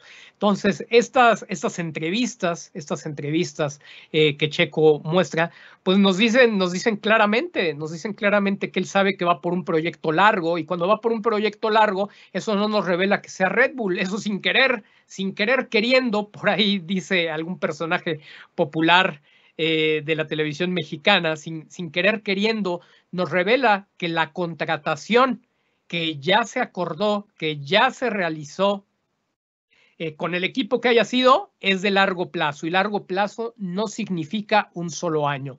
Y cuando vemos en la historia de Checo Pérez, Checo Pérez ya había sido contratado en 2013 por una importante escudería eh, que se llama McLaren pero que desafortunadamente tuvo un proceso de declive muy importante en la última década y a Checo Pérez le tocó, le tocó ser el chivo expiatorio de estos malos resultados y de esta, de esta mala gestión, de esta mala temporada. Entonces, mm, lo responsabilizaron durante mucho tiempo de, de, de, lo que había pasado en McLaren, cuando en realidad pues él no tuvo nada que ver y eso pudo haber complicado si Christian Horner no lo hubiera estado observando, si él se hubiera rendido antes de tiempo, pudo haber complicado su permanencia en Fórmula 1. Afortunadamente no, no, fue, no, fue, no fue de esta manera, pero algo que sucedió en, en McLaren es que solamente estuvo contratado por un año y hay un piloto muy famoso, a lo mejor ustedes eh, por su generación eh, no lo recuerden, tal vez sí, si, si son aficionados al deporte motor, Adrián Fernández, eh, pues eh, el papá de Checo fue publirelacionista de Adrián Fernández en su exitoso paso por la Champcar, lo que ahora es la, IndyCar. Y, Adrián Fernández estuvo fungiendo como su representante en, para esa contratación con McLaren. Consiguieron un, eh, un contrato únicamente por un año, no le, no le renovaron, porque lo, responsabilizaron de la, de la, falta de resultados. Eso puso en riesgo su carrera y luego se hizo de, un manager muy popular, eh, Julián Jacobi. Y eh, este Julián Jacobi criticó muy fuerte, criticó muy fuerte el, el que se hubiera eh, acordado solamente por un año ese, ese contrato con McLaren. Entonces, ahí, ahí empiezan, empiezan a sumarse muchos puntos por los cuales eh, inclusive la posibilidad de tener un contrato por un año está totalmente descartada. Y si, y si el contrato bien podía ser por un año, el acuerdo o el precontrato era por al menos de, dos años inclusive, inclusive más. ¿Con qué equipo? Bueno, pues ya todos los estímulos nos llevaban de forma muy clara hacia, hacia Red Bull Racing. Eh, se empezaron a ver detalles que, que, pues, que, se, que se les fugaban tanto a, los familiares como al propio Checo, que parecían cosas inocentes, pero que cuando tienes el contexto de, de cuestiones técnicas, de alta dirección, de decisiones, de la parte jurídica para la elaboración del contrato, del marketing, sabes que tienen que ver inclusive desde, desde sus pruebas antidoping para, para poder eh, efectuar ese, ese contrato. Eh, cuando el papá dice que, va a ser un gran día, cuando el propio papá señala que no saben dónde va a correr en 2021, pero para 2022 sí saben que va a estar en la, en la Fórmula 1, no existen esos saltos cuánticos para no estar un año y el otro sí y saberlo por, por anticipado. Y luego principalmente cuando Red Bull lo confirma a través de sus acciones de marketing y empieza a tener... Eh, lo que a veces se llama guiños, eh, y en los horarios de la carrera, en lugar de poner el tiempo de la Ciudad de México, pone Guadalajara y en las páginas de Red Bull México empieza a mencionar a Checo Pérez y a otros pilotos mexicanos, pero pues obviamente Red Bull México solamente menciona a pilotos que están relacionados con la propia marca porque todo gira en torno de, la marca. Entonces, tienen, tienen esto, esto, estos detalles, estos guiños, estos acercamientos y dentro de los procesos de, de, marketing, entre los procesos de publicidad, tú sabes que, que, algo con lo que no puedes jugar es con las emociones de la gente. Si tú vas a, a involucrarte con las emociones de la audiencia, es porque ya estás seguro de qué es lo que va a suceder, porque en dado caso de que tú hubieras dejado entrever ese, ese coqueteo y más ya con lo de la ciudad y hablando de él y, expresándote muy, muy bonito y viendo a Christian Horner y Helmut Marco felicitarlo después de sus grandes actuaciones eh, con Racing Point, sabes perfectamente que sería imperdonable que, que, que, al final salieras con que realmente nunca tuviste, tuviste interés. Pusieron como distractores a, un piloto que se llama Nico Hulkenberg, que se volvió mercadológicamente muy popular el año pasado por la forma en que llegó de bombero salvador cuando, cuando Checo se contagia de COVID y cuando Lance Stroll se contagia de COVID. Entonces aprovecharon ese hype para decir, vamos a posicionarlo porque ahorita la gente realmente sí puede creer que Nico es la opción. Y como somos muy resultadistas, y esto a ustedes como profesionales también se los comparto, eh, eh, la relevancia de ver mucho más allá del último resultado, la relevancia de ver mucho más allá de lo inmediato, eh, nos permite tener verdaderamente un criterio más amplio y, visualizar las cosas en 360 grados y poder, eh, poder acceder a, realizar análisis y tomar decisiones pues, más complejas. ¿no? Entonces, eh, la gente desafortunadamente en el manejo mediático y los propios medios en, en la falta de rigor que, que pues vienen presentando en muchos casos actualmente, pues de repente encasillan a, lo último, a lo último que ha pasado. Y si Nico Hulkenberg parece que era un gran piloto porque vino tres carreras y nadie se acuerda por qué no continuó en los demás equipos y nadie se acuerda por qué fue compañero de Checo Pérez y no, y no lo pudo vencer en la mayor parte de, las temporadas donde, donde estuvieron juntos, pues de repente entonces parece que verdaderamente Nico Hulkenberg era una gran opción, junto con la otra posibilidad de que Alexander Albon continuara con, con, el asiento de Red Bull Racing por el puro hecho de correr bajo la bandera tailandesa y en el entendido de que el 51% de las acciones de Red Bull Racing pertenecen a una familia tailandesa. Entonces, nos dejamos llevar por generalidades y lo peor de todo no es dejarnos llevar por generalidades, es que las damos por hecho y las defendemos a muerte. Entonces, somos, somos víctimas de, pues no del manejo mediático, el manejo mediático siembra en nuestra cabeza las semillas de propaganda y nosotros nos encargamos de echarle agua eh, basados en nuestros prejuicios, ¿no? Entonces, ahí, ahí esa, esa es la manera en la que nos pasamos descalificando todo aquello que no se parece a lo que creemos y, eh, o, a lo que conocemos, ¿no? Y eh, también entonces ahí va de la mano de un proceso de conocimiento. Ustedes están estudiando, recuerden que no que, que todo lo que existe no es únicamente lo que conocen, el, el, el, conocimiento no está limitado, no se limita a algo. Ustedes tienen que seguir buscando conocimiento y, no, y, el conocimiento que existe en el mundo ni siquiera se acota únicamente a las áreas de especialidad que ustedes tienen. Por lo cual, pues sí es importante que, que, puedan ir adquiriendo conocimientos multidisciplinarios sobre la marcha para poder comprender, ser empáticos y sobre todo para tener la visión de, de liderar eh, distintos proyectos. Una de, una de las situaciones eh, por las cuales mucha, mucha gente con perfiles de ingeniería y con perfiles de ciencia no crece a, puestos de liderazgo es justamente porque no desarrollan habilidades de comunicación, porque no desarrollan habilidades gerenciales. Y entonces esta, esta visión de las problemáticas eh, se reduce únicamente a lo que conocen y a lo que han vivido. Entonces, Lo vemos, lo vemos, lo vemos de esta, de esta forma con, con, Checo. Tenían, tenían unos distractores mediáticos donde las tres opciones eran mantener a su piloto Alex Albon, mucha gente rellenando los huecos que no lo iban a correr porque eh, pues la familia tailandesa lo apoyaba. Eh, Hulkenberg, eh, un alemán que muchos decían que él era el que iba a llegar porque había dado una gran actuación y muchos sin ningún sustento en, los números decían que era mejor que Checo y pues también salió, salió el apoyo de la familia Verstappen a, señalar que preferían que fuera él y otros también se limitaban a decir que, que porque tenía todo el respaldo europeo y entonces se, se dejaba de ver, se limitaba todo el conocimiento de Fórmula 1 o a lo que se cree conocer de, de Fórmula 1 y no se visualizaba toda la parte de negocios. Y toda la parte de, de, de, negocios pues nos llevaba a que Checo Pérez en realidad era el más sólido y el que más se encajaba, en, el que mejor encajaba para el modelo de negocios y para la búsqueda deportiva de, del campeonato de constructores. Por el otro lado, ¿cuál era la forma en la que iba a llegar Checo Pérez a Red Bull Racing? Pues Red Bull Racing había, demostró y ha demostrado durante su paso por, por la Fórmula 1 que no tiene piloto número uno y que no tiene piloto número dos hablando de una cuestión jerárquica.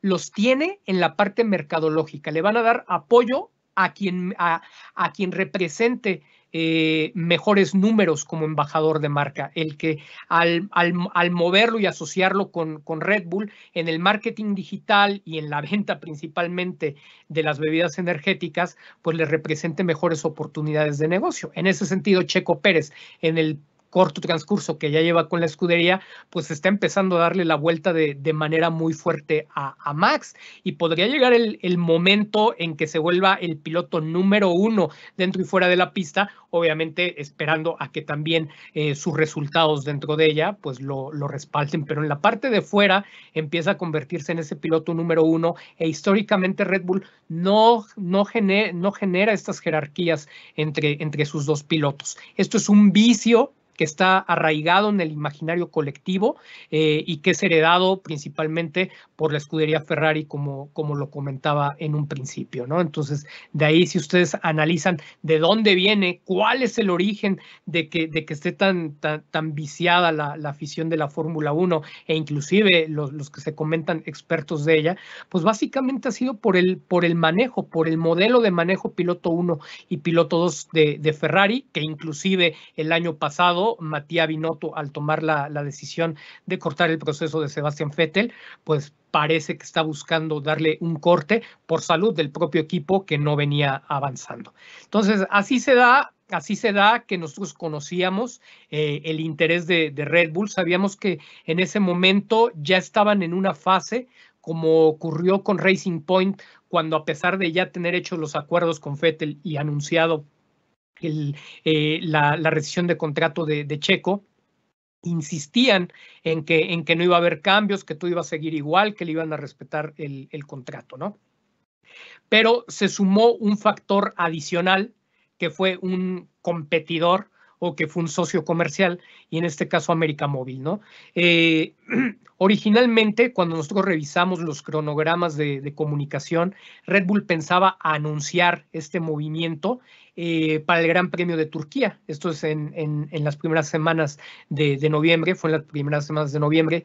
Sin embargo, se alcanzó de forma casi paralela o, poco posterior al, tema, al tema del contrato de Checo Pérez, se alcanzó un acuerdo para que América Móvil sustituyera como patrocinador de telecomunicaciones a, la marca ATT. No fue, no fue fácil porque son competidores directos, porque estamos hablando de cuestiones de relaciones públicas, de relaciones comerciales, de, de acuerdos legales, de, de acuerdos comerciales. Eh, y a lo que llegaron fue a un inédito, una inédita coexistencia de los logotipos de, del conglomerado de, América Móvil con la marca ATT entendiendo que ATT se mueve como un mismo logotipo para sus distintas áreas y en este caso quedó como, como asociado o como partner de innovación digital, pero ya no de telecomunicaciones y parte de las cláusulas también es que eh, ATT ya no iba a formar parte eh, eh, pues sobre todo de la presencia masiva, ¿no? Lo que eran los logotipos en, en la ropa, lo que eran los logotipos en, en, los muros de medios, etcétera, ¿no? Y sigue, sigue teniendo presencia, pero mucho, mucho, mucho más discreta y solamente pues prácticamente en, en la página y, y, en algunas cuestiones adicionales. Entonces, eh, esto, esto, se logró ahora sí que de buena fe fue la manera en que América Móvil logró llegar a este trato. Probablemente ATT eh, vaya a culminar esta temporada eh, su relación tecnológica con, con Red Bull. Puede ser que sí, puede ser que no. Se ve bastante viable. Por los tiempos ya no les daba y no le convenía a, Red Bull también hacer un cambio en su infraestructura que afecta la, las operaciones carrera con, con carrera. Y eh, bueno, al saber que América Móvil va a hacer este reemplazo y aparte traer un tema de motores, ojo aquí, Red Bull amenaza a la Federación Internacional de Automovilismo y a la organización de la Fórmula 1 con retirar a sus dos equipos del serial en caso de que no les autoricen a, congelar el desarrollo de sus motores, dado que se viene un gran cambio de regulaciones para la temporada 2022. Entonces, eh, una cosa que no era creíble es anunciar un contrato multianual por, por Checo Pérez, inclusive anunciar al piloto. Eh, si tú estás amagando que te vas a ir de la, de la categoría. Entonces, es una forma de dar congruencia, es una forma de dar congruencia a nivel de, de comunicación eh, masiva, de comunicación mediática y, de darle credibilidad ¿no? a, tu postura ante una mesa de, de negociación. Por lo cual, eh, también deciden eh, prorrogar el anuncio ya que no se logró llegar a, al acuerdo de esta cancelación en esas fechas que se, que se tenía planeado. Entonces, eso de la mano con una petición de ATT de no entorpecer, de no entorpecer la presencia de su marca mientras todavía era patrocinador vigente, es decir, hasta el final de la temporada eh, 2020, llevó a la determinación legal, comercial y de relaciones públicas de que Red Bull empezara a posicionar la idea de que no iban a tomar la decisión sino hasta Abu Dhabi. Y ya fue ahí donde, donde se unificó por todas las partes Helmut Marco, Christian Horner, el propio Checo Pérez, que iban a tener que esperar hasta después de Abu Dhabi, que el equipo no tenía prisa. La realidad es que Checo Pérez tampoco tenía prisa, obviamente era incómodo porque se, se, le, se le tenía que cuestionar y él tenía que jugar con un discurso, eh, con un discurso mediático, eh, pues de, de, demostrar des, desconocimiento, ¿no? De cuál, de cuál era su futuro. Eh, alguien me ha preguntado, ¿es esto mentir? No, no es mentir. O sea, sería tanto como decir que, los actores en el teatro y todo te están mintiendo. O sea, es parte del mundo del entretenimiento, es un entretenimiento y es un negocio. No son, no son figuras públicas obligadas a la transparencia per se con, la audiencia, sí al interior y a rendir cuentas eh, pues con, con, con, quien paga sus salarios, ¿no? Pero hacia, hacia afuera, hacia los medios, hacia la afición, en realidad, aunque lo deseable es que digan la, la, verdad, pues a veces esta, esta verdad se, se, dramatiza de tal manera en que pueda contar una historia y esta historia sea más atractiva para, para potenciar o para maximizar las ventas de la marca y en este caso, pues obviamente las de, las de Red Bull y que al final del día pues iba a terminar en un final feliz, ¿no? Con, con Sergio Checo Pérez el 18 de, de diciembre anunciado como nuevo piloto de Red Bull Racing. Jamás hubo una congruencia, jamás eh, trabajaron ellos en, en poder cerrar ¿no? En poder cerrar las pinzas para, para que su historia fuera sólida, para que su coartada de decir que, que realmente se tomó la decisión hasta ese día, pues en, en verdad eh, nos daba los parámetros, aunque sea el beneficio de la duda que era, que era así, y que un peritaje técnico tan, tan robusto que nos dio un 99.9% de fiabilidad desde, desde octubre, pues podía, podía haber sido una práctica profesional mal desarrollada.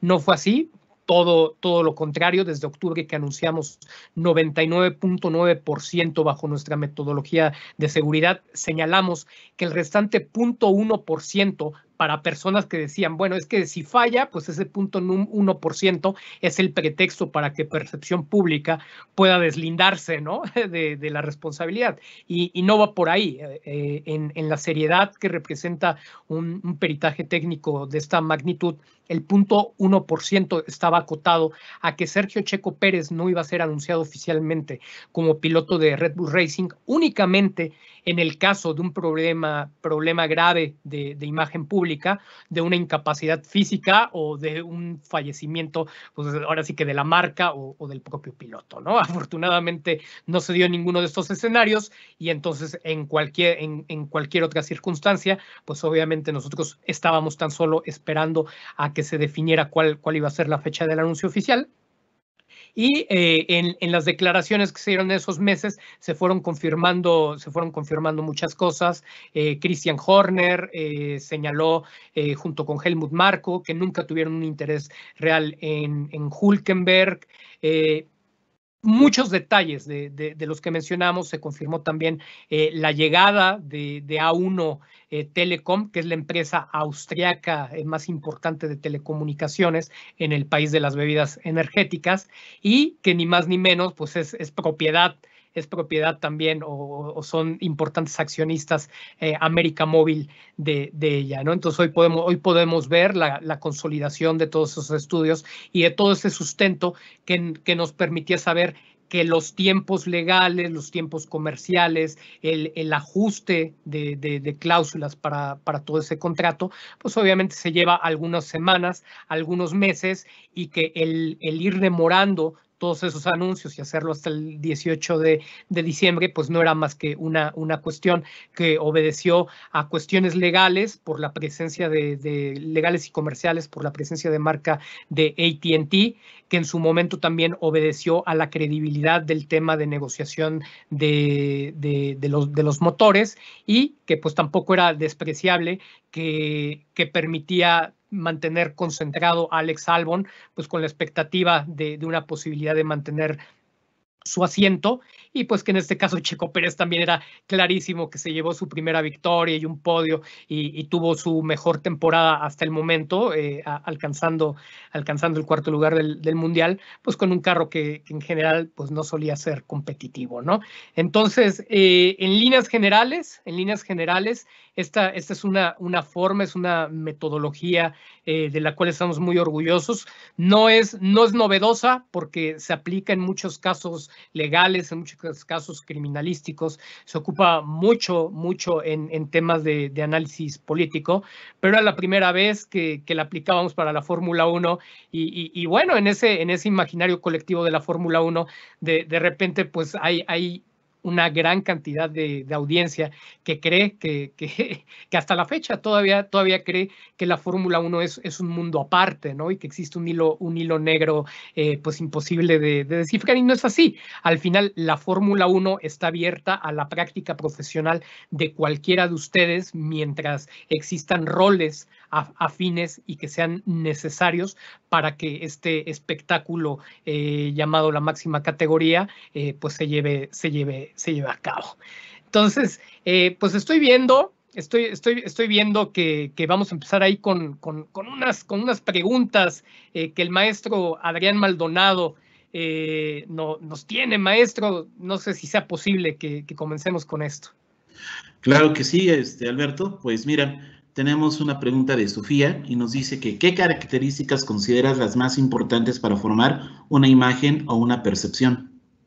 Ok, eh, correcto, correcto. La, producción, la producción de, una imagen, por supuesto, es un, es, un tema que, que, puede ser intencional y si no es intencional, pues de todos modos la gente se va a hacer una, una imagen de, nosotros, ¿no?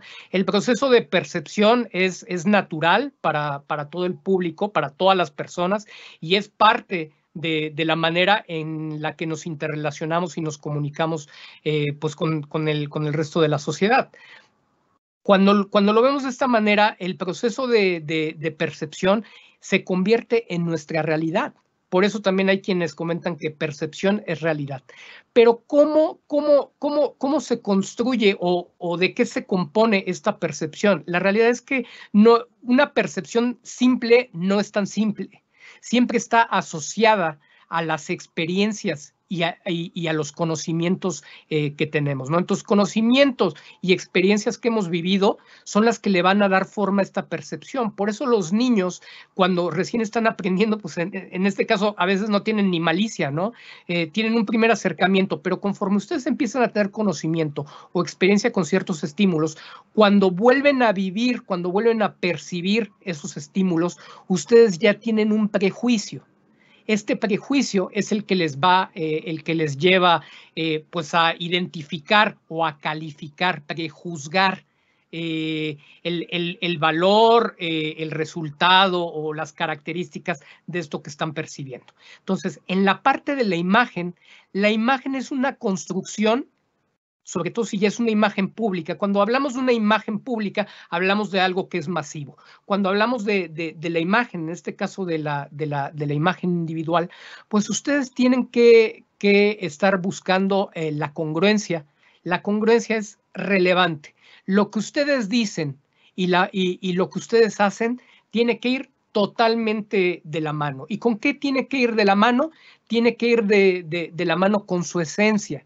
Ustedes no, eh, la, mejor sugerencia que yo les puedo realizar es que no traten de imitar a nadie, traten de ser ustedes mismos, pero traten, busquen ser la mejor versión de ustedes mismos. ¿Y cómo los van a percibir los demás? Esta imagen que los demás tienen de ustedes, como ya les dije, va a estar basada en los prejuicios, en lo que, en lo que los demás saben. Esta imagen ni siquiera les pertenece. La imagen le pertenece a los demás. A mí me pertenece la imagen que yo tengo del, del maestro Adrián y, y a ustedes les pertenece la imagen que están generando de mí. Entonces, este prejuicio los va a llevar a la acción ¿Y cuál es, cuál es la acción? Ahí ustedes lo, pueden, lo pueden ver de forma tan amplia como el decir, eh, me parece que le puedo creer. Yo he escuchado gente que habla de esa manera y le creo, o yo he escuchado personas que me dicen ese tipo de cosas y no le creo.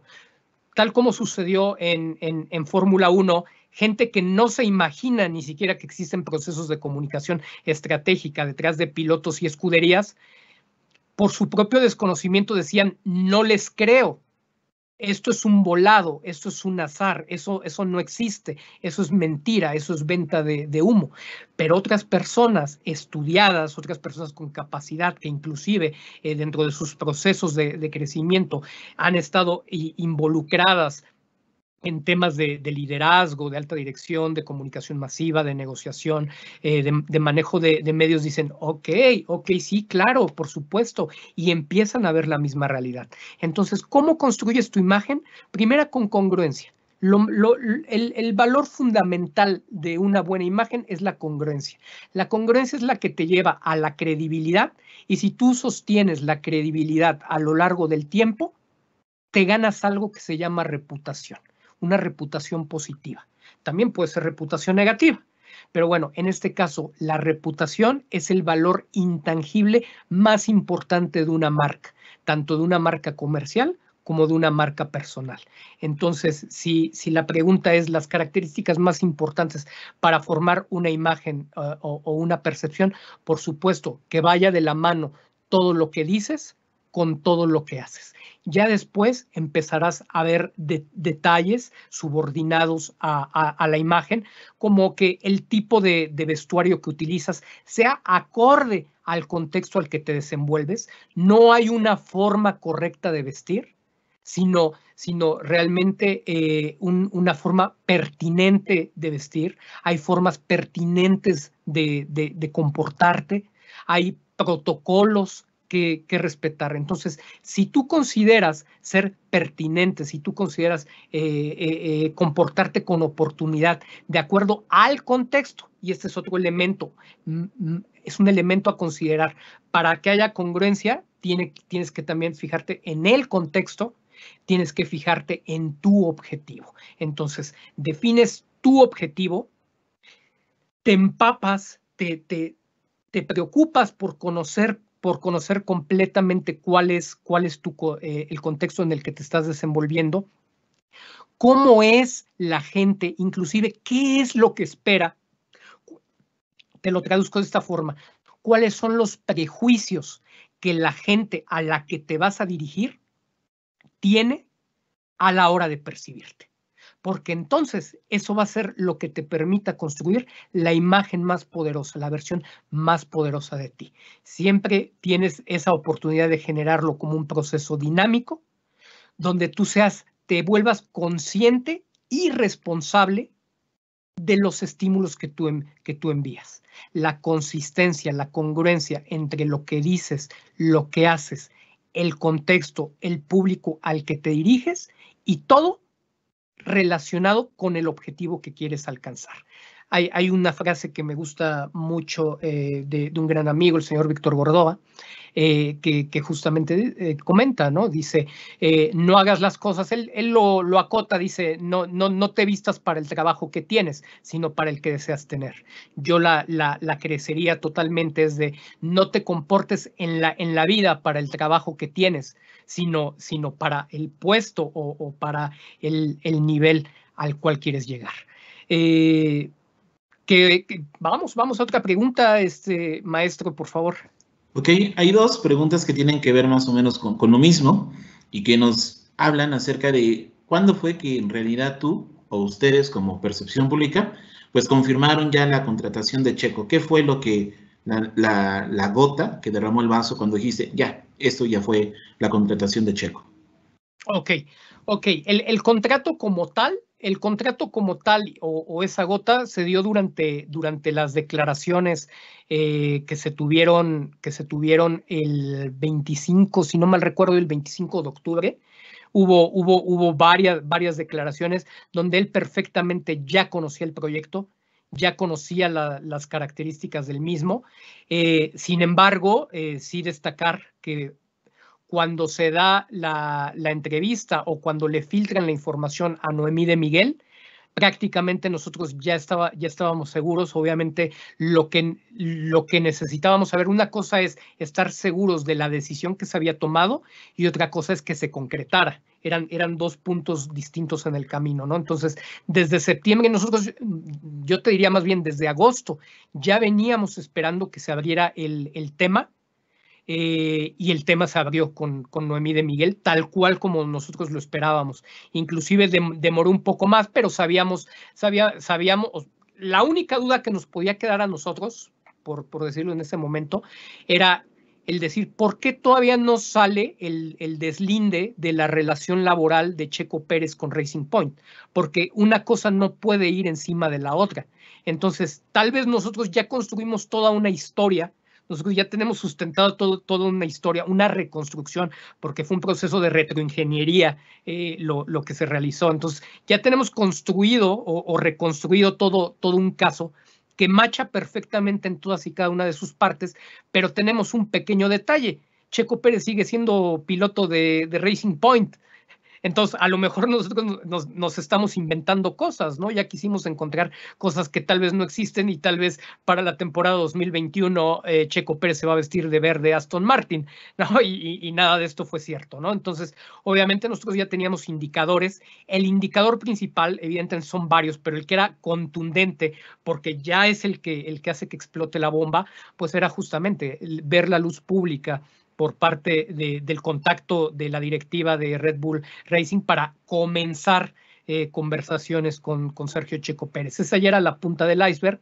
Y después lo, lo que seguía eh, eh, era, digamos que, en ese 90% era una probabilidad muy alta, muy, muy alta, pero para poder llegar a un 99.9%, que en realidad no era otra cosa, como ya lo explicamos, de es un hecho, o sea, esta, esta situación ya se concluyó. La probabilidad en septiembre era de un 90%, la confirmación de su contratación por el 99.9% era de esto ya está hecho, ya no se va a modificar salvo que suceda eh, eh, una situación de, carácter de imagen pública, de carácter de salud, ¿no? una indisponibilidad de la marca o del piloto para, para llevar o sacar adelante ese, ese contrato. Entonces, ya como tal, la parte del contrato se da a, con toda la serie de estímulos en la semana del 18 al 25 de octubre fueron totalmente contundentes por, por varias de las partes relacionadas con Red Bull y con el propio Checo Pérez, eh, llámese familia, llámese declaraciones personales, llámese uso de redes sociales, todas todas, todas, todas amalgamaron a, tal punto que eran situaciones ya esperadas, eh, con base en los patrones de comunicación que más o menos en un transcurso de, dos años de forma intensiva y de diez años de seguir al, piloto en la, en la, categoría, pues no nos dejaban lugar a dudas eh, pues de, que esta, de que esta situación ya estaba finiquitada. Muy bien, eh, tenemos otra pregunta que hablan acerca del manejo de crisis que si este manejo de crisis es el momento clave para tener impacto en, lo que queremos comunicar, o es una situación como las que se tienen en un momento de calma. Si es lo mismo, ¿es entonces la crisis un incremento de riesgo si no se maneja adecuadamente sobre lo que se quiere comunicar? Ok, ok, ok, ok. Eh, Dice, a ver, justo es el manejo de crisis el momento más clave para tener impacto en lo que comunicamos. O sea, no necesariamente, en, realidad el, manejo, de, manejo de, crisis es algo que quisiéramos evitar. Es imposible, es totalmente imposible evitar eh, ser parte de una, de una crisis. Lo que sí es que se pueden prevenir la mayor, la mayor parte de las crisis son, previsibles y, en ese sentido, bueno, hay procesos que siempre se recomiendan, ¿no? Para, para poder tener mapeados esos posibles escenarios de crisis e inclusive la forma en que se van a resolver. Cuando la crisis ya se presenta, la recomendación, por supuesto, es hacer de esa crisis una oportunidad. Si el objetivo no es hacer de la crisis una oportunidad, entonces ya estamos fijando mal el objetivo. Es decir, cuando ya llegamos a la crisis y la crisis no queríamos eh, que, se presentara, ahora le tenemos que sacar provecho y le vamos a sacar provecho y podemos maximizar y se puede convertir en, un gran momento de, comunicación. De hecho, de hecho así como, como lo comenta, se podría convertir en un momento clave de la, de la comunicación, pero no deja de ser un momento fortuito de una manera muy bien manejada. Entonces, lo ideal es que la construcción, la construcción en el, en el manejo de, de, las situaciones, en el manejo de la comunicación, es que se vayan construyendo los mensajes necesarios de manera anticipada, el que, el que se tenga perfectamente posicionada la comunicación de, tu marca, sea de la marca comercial o personal, eh, que se tenga perfectamente posicionada que sea, que sea congruente y que esa comunicación no derive en, en crisis. Si ya deriva, si, si la comunicación no está bien hecha, si la comunicación no existe, entonces esta, esta ausencia de comunicación o este mal manejo de la comunicación sí te puede inducir a una crisis. Y si llegas a la crisis y no estás preparado para manejar, preparado, preparada para manejarla adecuadamente, entonces, entonces puede eh, representar en el peor de los escenarios, como es el que siempre se suele tomar en cuenta en manejo de crisis como punto de partida, en el peor de, en el peor de los escenarios, puede, puede significar el término de tu reputación, de tu credibilidad y de tu marca. Entonces, eh, son, son dos procesos distintos, son dos procesos de la mano. Por supuesto, siempre pensar en la construcción de la, de la marca, en la construcción de la, de, la comunicación, pero siempre estar preparados y tener perfectamente mapeados eh, los riesgos, ¿no? Y saber exactamente cómo vas a resolver e inclusive, aunque, aunque los tiempos que se recomiendan para el manejo de, de crisis son, son muy cortos, siempre estar pensando en que una crisis a la que no le sacas provecho sigue siendo una crisis mal manejada. Ok, muy bien, muchas gracias, este, maestro Alberto. Otra pregunta, ¿cómo preparas a tu entorno? Yo creo que también con respecto a lo de las crisis, ¿cómo preparas a tu entorno, familia, amigos, representantes, etcétera, ante este tipo de situaciones o en definitiva los mantienes fuera? Bueno, bueno, esto, esto, esto depende, depende mucho. En el caso de nosotros, eh, una, una de las actividades que más desarrollamos es el asesoramiento de figuras públicas, ¿no? Y, a mí me, me, ha tocado, a partir de que tomamos la, la, decisión de compartir como nuestro programa de responsabilidad social en el uso y manejo de la comunicación, el, el caso de estudio de, de Sergio Checo Pérez, pues em, em, empezar a tomar esta cara de, de, figura pública, aunque sea, aunque sea de forma no tan masiva. Y eh, lo, que, lo, que, lo que tenemos que tener claro es que todos, todos aquellos que nos representan, todos aquellos que están relacionados o vinculados con nosotros en, en algún modo, son una extensión de nuestra imagen, mucho más si somos, si somos figuras públicas.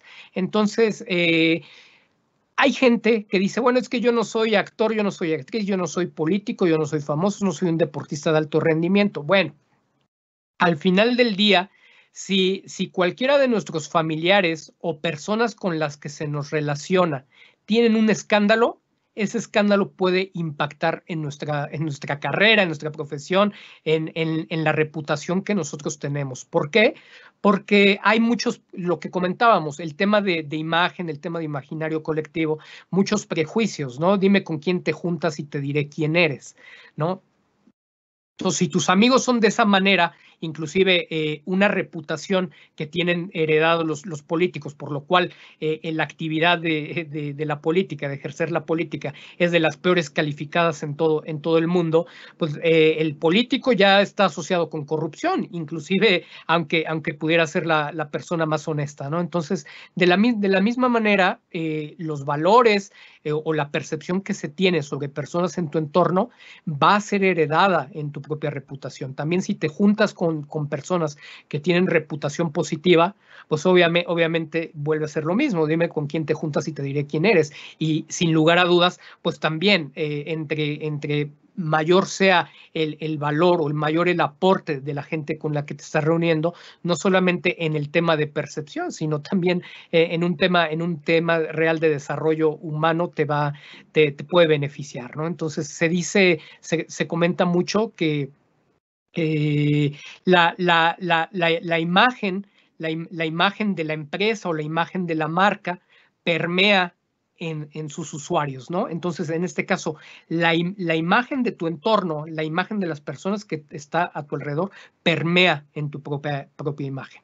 ¿Qué es lo que tenemos que hacer? Bueno, por supuesto, yo dentro, dentro de la familia o para los personajes públicos, yo tengo que preparar a toda la familia, por lo menos a la más cercana, para que estén en congruencia. Y ahorita, eh, valga la coyuntura de Sergio Checo Pérez, una de las, de las grandes debilidades en comunicación de Sergio Checo Pérez es que su familia no está preparada para, para el nivel de comunicación que requieres al ser el entorno inmediato de un piloto de, de, Fórmula 1, ¿no? Entonces, no, no, es, lo, no es lo mismo el, el, tener facilidad de hablar, el tener facilidad de hacer buenas relaciones públicas, al hecho de profesionalizarte. Y, profesionaliz y, y este concepto de profesionalizar es, es, es, un pendiente que tenemos en la sociedad mexicana y latinoamericana eh, eh, eh de, de, forma, de forma general, donde de repente queremos seguir haciendo a la mexicana o de manera informal eh, muchas de las actividades actividades que creemos que, conocemos o que son muy sencillas de hacer, ¿no? venimos desconociendo ámbitos profesionales que son distintos al nuestro y, por ejemplo, en el tema de la comunicación, pues la comunicación es algo que hacemos sin necesidad de estudiar. ¿no? Y, hay, y hay gente que, que, tiene la facilidad para la comunicación, inclusive sin estar ligada a la misma, lo cual no significa que saber comunicarte bien pues que represente ser asertivo, ¿no? Y mucho más en los casos de crisis. Entonces, el papá de, Sergio Checo Pérez, que ahora es eh, diputado plurinominal eh, por, Jalisco, pues de repente también ha tenido algunos comentarios a destiempo de la carrera de Checo, su hermana está a cargo de, la marca de, Checo y han mostrado grandes áreas de, oportunidad para que entonces todas las acciones que ellos están realizando puedan potenciar eh, el, crecimiento y la presencia de Sergio Checo Pérez como, como piloto y que, no, y que no se limite nada más a un tema de, eh, pues es que mis temas o mis marcas, pues las está desarrollando y las está atendiendo mi gente de confianza, ¿no? Tiene que ser gente de confianza, tanto pues obviamente en, en la transparencia administrativa, pero pues también en, en, la capacidad de gestión y tener, contar con, con los perfiles adecuados. Improvisar perfiles te va a terminar saliendo siempre mucho más caro en la práctica profesional. Muy bien, y otra pregunta. Considerando que el cuerpo dice más que, que, los labios, en el caso específico de Checo, ¿crees que pudiera ser al menos en total tres años de contrato con Red Bull? Mira, eh, qué, interesante eh, pregunta. Está, de esta manera. Sergio Checo Pérez sabe que trae todo un proyecto de, un proyecto de largo plazo con, Red Bull. Nosotros platicamos y obviamente, bueno, aquí, aquí tenemos la, la oportunidad muy breve de, pues de simplificar o, en este caso de resumir ¿no? toda la investigación que, se compartió por meses. Eh, sin embargo, ya, ya habíamos platicado, a Checo Pérez lo ven como un mentor, lo ven con las posibilidades de ser un mentor de los jóvenes de la Academia Red Bull. Y también Checo Pérez tiene un perfil que potencialmente podría ser desarrollado para en un futuro no tan, no tan lejano eh, convertirse en, en, pues hasta director pues, de Alfa Tauri o en un futuro de, de Red Bull Racing. Entonces, saben, saben también que tienen un auto en puerta eh, con distintas regulaciones para el 2022 y tenían que tomar una decisión muy precisa a la que le iban a apostar por lo menos dos años. Eh, de inicio por lo menos dos años. Eso es algo sumado a lo que comentaba de su representante eh, Julián Jacobi eh, y, lo que fue el contrato de Adrián Fernández con, con McLaren. Entonces, ya había de mínimo dos años. Nosotros no lo podríamos acotar a dos años porque lo que, no, lo que nos generó la impresión técnica es que podían ser dos o más tal cual como lo, como lo estás mencionando. Si a mí me dicen que el preacuerdo fue por tres años, yo no tendría ninguna duda. ¿Cómo se da, cómo se da este, este escenario? Checo Pérez llega y tiene que tener firmado un contrato por un año para poder correr. Eso es por una cuestión legal. Hay tecnicismos, hay tecnicismos legales como, como la parte de las cláusulas. Checo Pérez tiene un preacuerdo en donde el segundo año ya está garantizado para que él, para que él continúe en la escudería Red Bull Racing. Pero es un preacuerdo debido a que no se puede firmar en blanco un contrato que no tiene cantidades y un contrato cuyas cláusulas eh, te obligan a que tenga que terminar la temporada para poder hacer las estimaciones o los cálculos de las mismas. Es decir, tus resultados finales fueron estos, estos, estos, con base en ello hay un algoritmo o se va a multiplicar por tal cantidad y, con esto se va a compensar tu sueldo para que, para que se te pague de forma justa a partir de la temporada 2021, dado que en este momento él sigue teniendo un salario estimado por debajo de la, de, de la mitad de la tabla de los pilotos. Entonces van a hacer esas compensaciones. Adicionalmente es cuántos patrocinadores atraes, llegan como valor agregado a la marca y que van a permitir que ese salario sea posible. Entonces, obviamente también hay porcentajes, hay porcentajes de, esos patrocinadores que directamente se suman al, proyecto eh, por la parte de, Checo Pérez y pues obviamente cualquier, cualquier otro tema relacionado a la parte económica. Eso por un lado. Por el otro, bueno, con base en esos resultados, si se va a confirmar si había sido un preacuerdo multianual de los dos primeros años, entendiendo que técnicamente solamente iba a estar firmado por un año, porque si no el contrato tendría que haber estado, un contrato por dos años tendría que haber estado definido en todas sus partes, incluyendo lo que estoy comentando. Entonces, no está definido porque necesitan hacer la estimación de esas cláusulas. Entonces, se tiene un contrato por el primer año, se tiene un preacuerdo por el, por el, segundo, por el segundo año, y se puede también tener como parte de ese preacuerdo por el segundo año el preacuerdo multianual por los años subsecuentes, con base en esas mismas eh, cláusulas de rendimiento. Entonces, lo que, lo, que, lo que nos parece a nosotros más, con más sentido es que se, se acordó un contrato multianual donde está firmado por un año, donde está preacordado el segundo año y está totalmente abierto a que, a que en la negociación o al cierre de la, de la firma del segundo año eh, se defina lo que va a ser de su futuro eh, para el tercer año en, en adelante, ¿no? Entonces, eh, básicamente, básicamente lo vemos como un acuerdo de dos años multianual por un, este, a partir de un tercero. Así es, así es como nosotros, como nosotros este, eh, pues puntualizamos que, se dio esa negociación con Checo. Muy bien, tengo otra pregunta que llegó por aquí. Y menciona que las escuderías de, F, 1 tienen eh, comunicadores ¿no? en cada uno de sus equipos. Por supuesto que los periodistas de F1, las vacas sagradas y aquellos que tanto mencionamos, los conocen, ¿no? Dado que acompañan a los pilotos en las entrevistas y son pues los, los cuates o las, o las chicas que están con una grabadora o el celular, ¿no? Cuando están grabando la, la respuesta de cada uno de ellos. La pregunta es, ¿cómo es que sabiendo la labor de estos comunicadores y la labor que realizan a los periodistas, se les escapó la primicia de la contratación de Checo? Es decir, para percepción pública fue muy claro la lectura de las declaraciones de Checo. ¿Por qué para los periodistas y entre comillas periodistas, no lo fue. Bueno, aquí, aquí, hay un tema, aquí hay un tema muy delicado y es muy, es muy delicado y obviamente para, para nosotros es parte de la práctica diaria. Los comunicadores estratégicos o los especialistas de relaciones públicas que acompañan a los pilotos, evidentemente, como, como, como se menciona, pues son del conocimiento de los periodistas.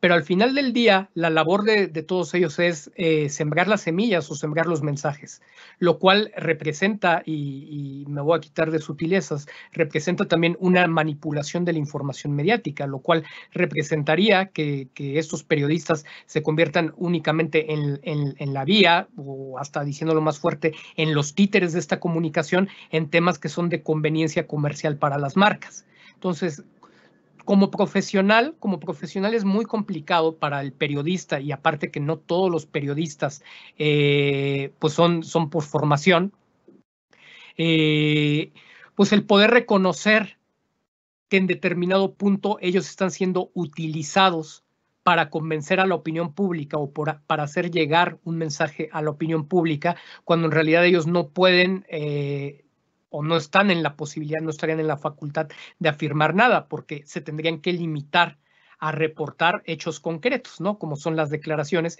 y el periodismo, pues no considera la especulación, aunque sí considera el análisis.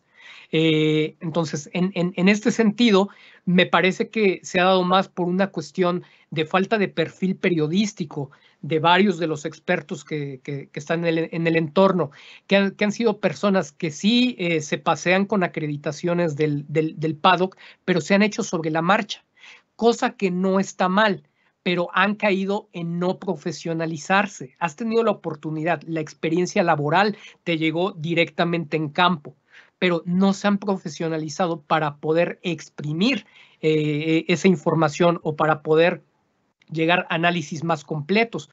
¿Por qué? Porque desde la postura en que, en que lo estamos viendo nosotros, sabemos muy bien que si el periodista no, no, no le exige a la fuente, nosotros, nosotros vamos a poder posicionar en la mente de la opinión pública la idea que se nos dé la gana. A nosotros nos lo hacen muy fácil cuando, cuando el periodista pues no acorrala, ¿no? En el buen sentido, no acorrala a, la fuente y no ejerce las técnicas periodísticas para poder hacer una entrevista rigurosa y poder obtener la primicia. Entonces, algo de lo que hemos visto en el periodismo relacionado, el periodismo que se dice especializado en Fórmula 1, es que pues no, no, no está haciendo uso de, una variedad de técnicas de, y no está utilizando herramientas periodísticas y sobre todo está cuidando, está, le está dando prioridad a, cuidar el tema de las relaciones, de las relaciones públicas por encima del ejercicio de su oficio periodístico. Para, para alumnos, para alumnos de las carreras de comunicación y de, de, periodismo, obviamente lo, entenderán, están faltando a la, a la ética periodística porque, porque básicamente también no están comprometiendo a, a las fuentes para no revelar cosas que podrían resultar incómodas, aunque sinceramente la mayoría de ellos ni siquiera se les ha visto un perfil, como, como te comentaba, eh, eh, en el cual se les vea la capacidad de indagar más allá, más allá de lo que vienen repitiendo. De los pocos casos en donde lo vimos, se vieron plasmados en esas entrevistas que compartimos con, con Jack Bloch, eh, de Holanda, un, periodista holandés, que tenía, que, que, ha demostrado esta facilidad, esta psicología de la entrevista para sin pelearse con la fuente, generar, generar el clima de confianza y de repente caerle con el factor sorpresa que, que hace que revele eh, información cuando ni siquiera se lo está esperando. Pero este tipo, este tipo de, de, práctica periodística, sobre todo aquí en, en, Latinoamérica, la hemos visto muy poco o, o, nada durante todo este periodo y nadie la aplicó para el caso de Sergio Checo Pérez, principalmente por algo, lo que te decía del prejuicio, lo cual es contradictorio a una práctica congruente y profesional, una práctica ética y rigurosa del, periodismo. El propio periodista o el propio experto en Fórmula 1 consideraba en su mayoría que Checo Pérez no tenía el nivel para llegar a Red Bull Racing, eso por un lado, que el equipo no se lo iba a llevar porque eh, el piloto tailandés pues era, eh, tenía la misma bandera que los dueños mayoritarios de la empresa Red Bull y porque también compartían que la prensa europea estaba posicionando muy fuerte a Nico Hulkenberg. Entonces, si tú como profesional te conviertes en autorreferencia y te conviertes en víctima de tus propios prejuicios y no te deshaces de ellos, pues no solamente no puedes ejercer una buena práctica periodística, sino prácticamente no puedes ejercer una buena práctica en cualquier profesión. Muy bien, Alberto. Y ya para, para cerrar la, sesión del día de, hoy, esperemos que no sea la, la, única que tengamos contigo y abusando de tu amabilidad. Un gusto para mí. Ves que cada, cada gran premio y después de cada, de cada himno, por ejemplo, y de cada premiación de Fórmula 1, los pilotos, primero y segundo, tercer lugar, tienen una, una conferencia con los medios, ¿no? Entonces, se tienen que esperar un ratito en lo que se celebran y demás, y después se van a, a las a, las, a las, preguntas ¿no? de, de, los grandes medios de comunicación. Entonces, vamos a hacer un pequeño símil, vamos a hacer un ah, juego con, respecto a, supongamos que es cuando, cuando Checo llega con los, con los, los periodistas y le empiezan a preguntar, ¿no? y lo empiezan a bombardear. Yo lo veo desde la otra perspectiva, igual que, que mis alumnos, cuando son egresados, ¿no? cuando, estén, cuando son recién egresados y van a su primera entrevista laboral, ¿no? ¿Qué les dirías a, ellos para que puedan afrontar eh, esta, esta forma de, bombardeo? Porque eso es lo que hacen las empresas, bombardearte sobre los conocimientos que tienen, las experiencias, los proyectos que han realizado.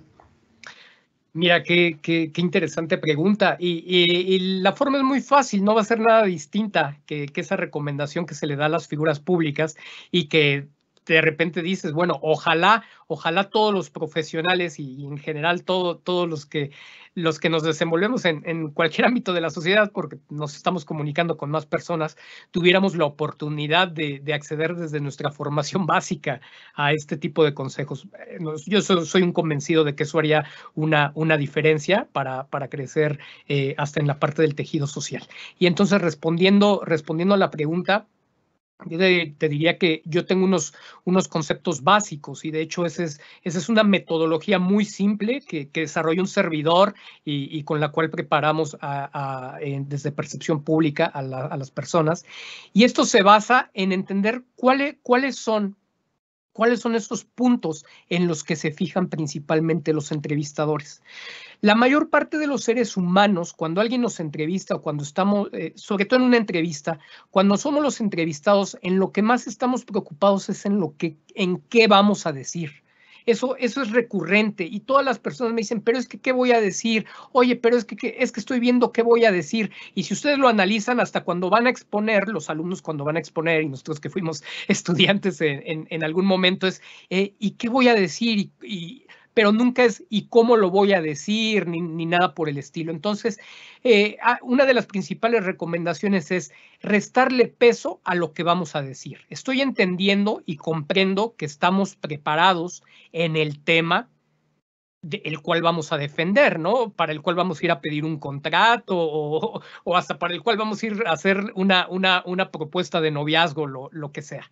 Entonces, más que qué vas a decir, aunque sí tienes que tener una idea, sí, sí, debes de prepararte, no te debes de clavar, no te debes de enfocar tanto en la perfección de ese discurso como en la seguridad de lo que estás diciendo. Mientras tú te enfoques en tener seguridad, en transmitir con, con buena energía y mantener con, con naturalidad el mensaje que tú ya trabajaste, durante todos tus años de estudio, cuando ya definiste cuál es la intención y tu objetivo, bueno, a lo mejor en este caso es eh, que te den un trabajo, que te den una oportunidad laboral o conseguir un negocio. Y cuando te pones a repetirlo y a practicarlo una y otra y otra y otra y otra vez, cada vez te debe de salir mejor. Entonces, los entrevistadores, por, por mentira que, le parezca mucho, a, mucho, lo que más están fijando es la seguridad con la que estás diciendo las cosas. Si tú dices las cosas con, mucha seguridad y a lo mejor ustedes se, se, hayan dado cuenta, hay gente, y no es una recomendación porque tarde o temprano les rebota como boomerang y les hace perder su credibilidad y caer en reputación, pero hay mucha gente que miente, pero miente con tal seguridad que le crees. Entonces, aquí el chiste no es mentir, aquí el chiste es sustentar el fondo, tu conocimiento con la seguridad en que dices las cosas. Esto no se trata de exámenes. Cuando tú vas a pedir un, trabajo, cuando vas a pedir una oportunidad, no te, lo que más te están examinando es tu actitud, la forma en que, en que vas a afrontar y la forma en que puedes proyectar que esa persona que te está pidiendo la oportunidad eh, va a poder resolver. Si tú te muestras como una persona segura, automáticamente en mi cabeza yo ya estoy relacionando que eres una persona capaz de resolver. Si yo te veo que además de ser una persona segura, eres una persona que me proyecta buena energía y no que está así como toda decaída y con las manos en las bolsas, por favor, sáquense las, las manos de las bolsas todo el tiempo, por favor, queridos eh, amigos de la Ibero Puebla. Eh, si ustedes muestran eh, en todo momento seguridad, transmiten la, energía de lo que están diciendo.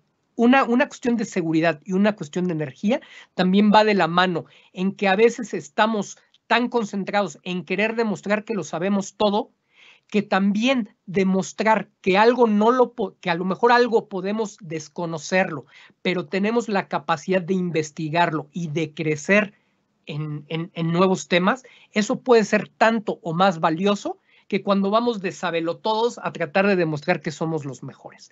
Entonces, también esa naturalidad, también esa humildad que demuestra un temple, que tampoco se trata de decir, pues es que no sé nada, pero vengo y lo aprendo, tú no te preocupes, ¿no?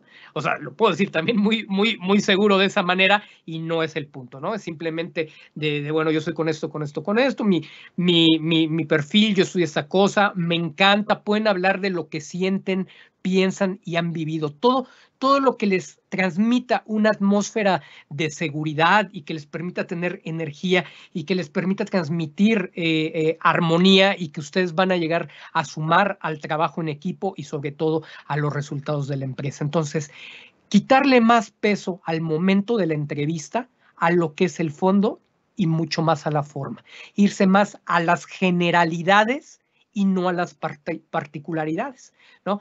Si ustedes empiezan a desmenuzar un proceso y nadie se los preguntó, tal vez van a perder la oportunidad de su entrevista en dar demasiados detalles sobre esa parte que en hablar de forma, de forma general en todo lo que desde su visión le podrían estar aportando al empleador o a la persona que le están ofreciendo el, el negocio. Entonces, básense más en la parte general que en la parte que en, la parte del detalle. Salvo que ya les pregunten a ustedes a, detalle, bueno, sean muy cuidadosos, tampoco den toda la información, pero demuestren de manera general su amplio conocimiento y su apertura a seguir creciendo. Siempre eso, apertura a mantenerse en constante desarrollo. Como cuando le preguntan a, Checo cómo va, bueno, pues tiene la, la apertura y no está cerrado ya a partir de ahora no se está cerrando a decir que no puede mejorar, sino simplemente siempre está en constante desarrollo. Entonces, lo mismo para ustedes, no se autolimiten a creer que porque no tienen experiencia, a que porque son jóvenes, a porque puede ser su primera oportunidad, no son. Demuestren más las actitudes, las aptitudes que pueden tener a, nivel personal para crecer y convertirse en, en esa persona ideal que, pues, su interlocutor está buscando.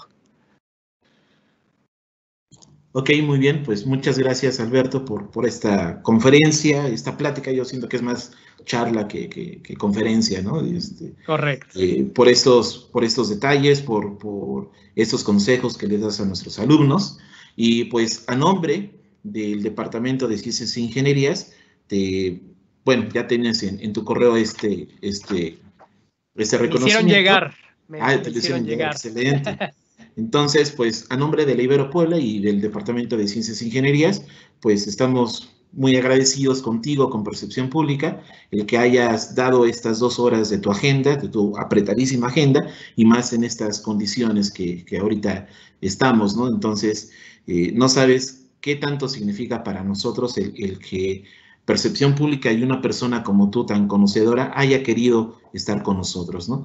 Pues muchísimas gracias, Alberto, a los participantes, a los que se animaron a dar las, las preguntas, pues estos son los eventos que Ibero Puebla hace para ustedes y con ustedes, ¿no?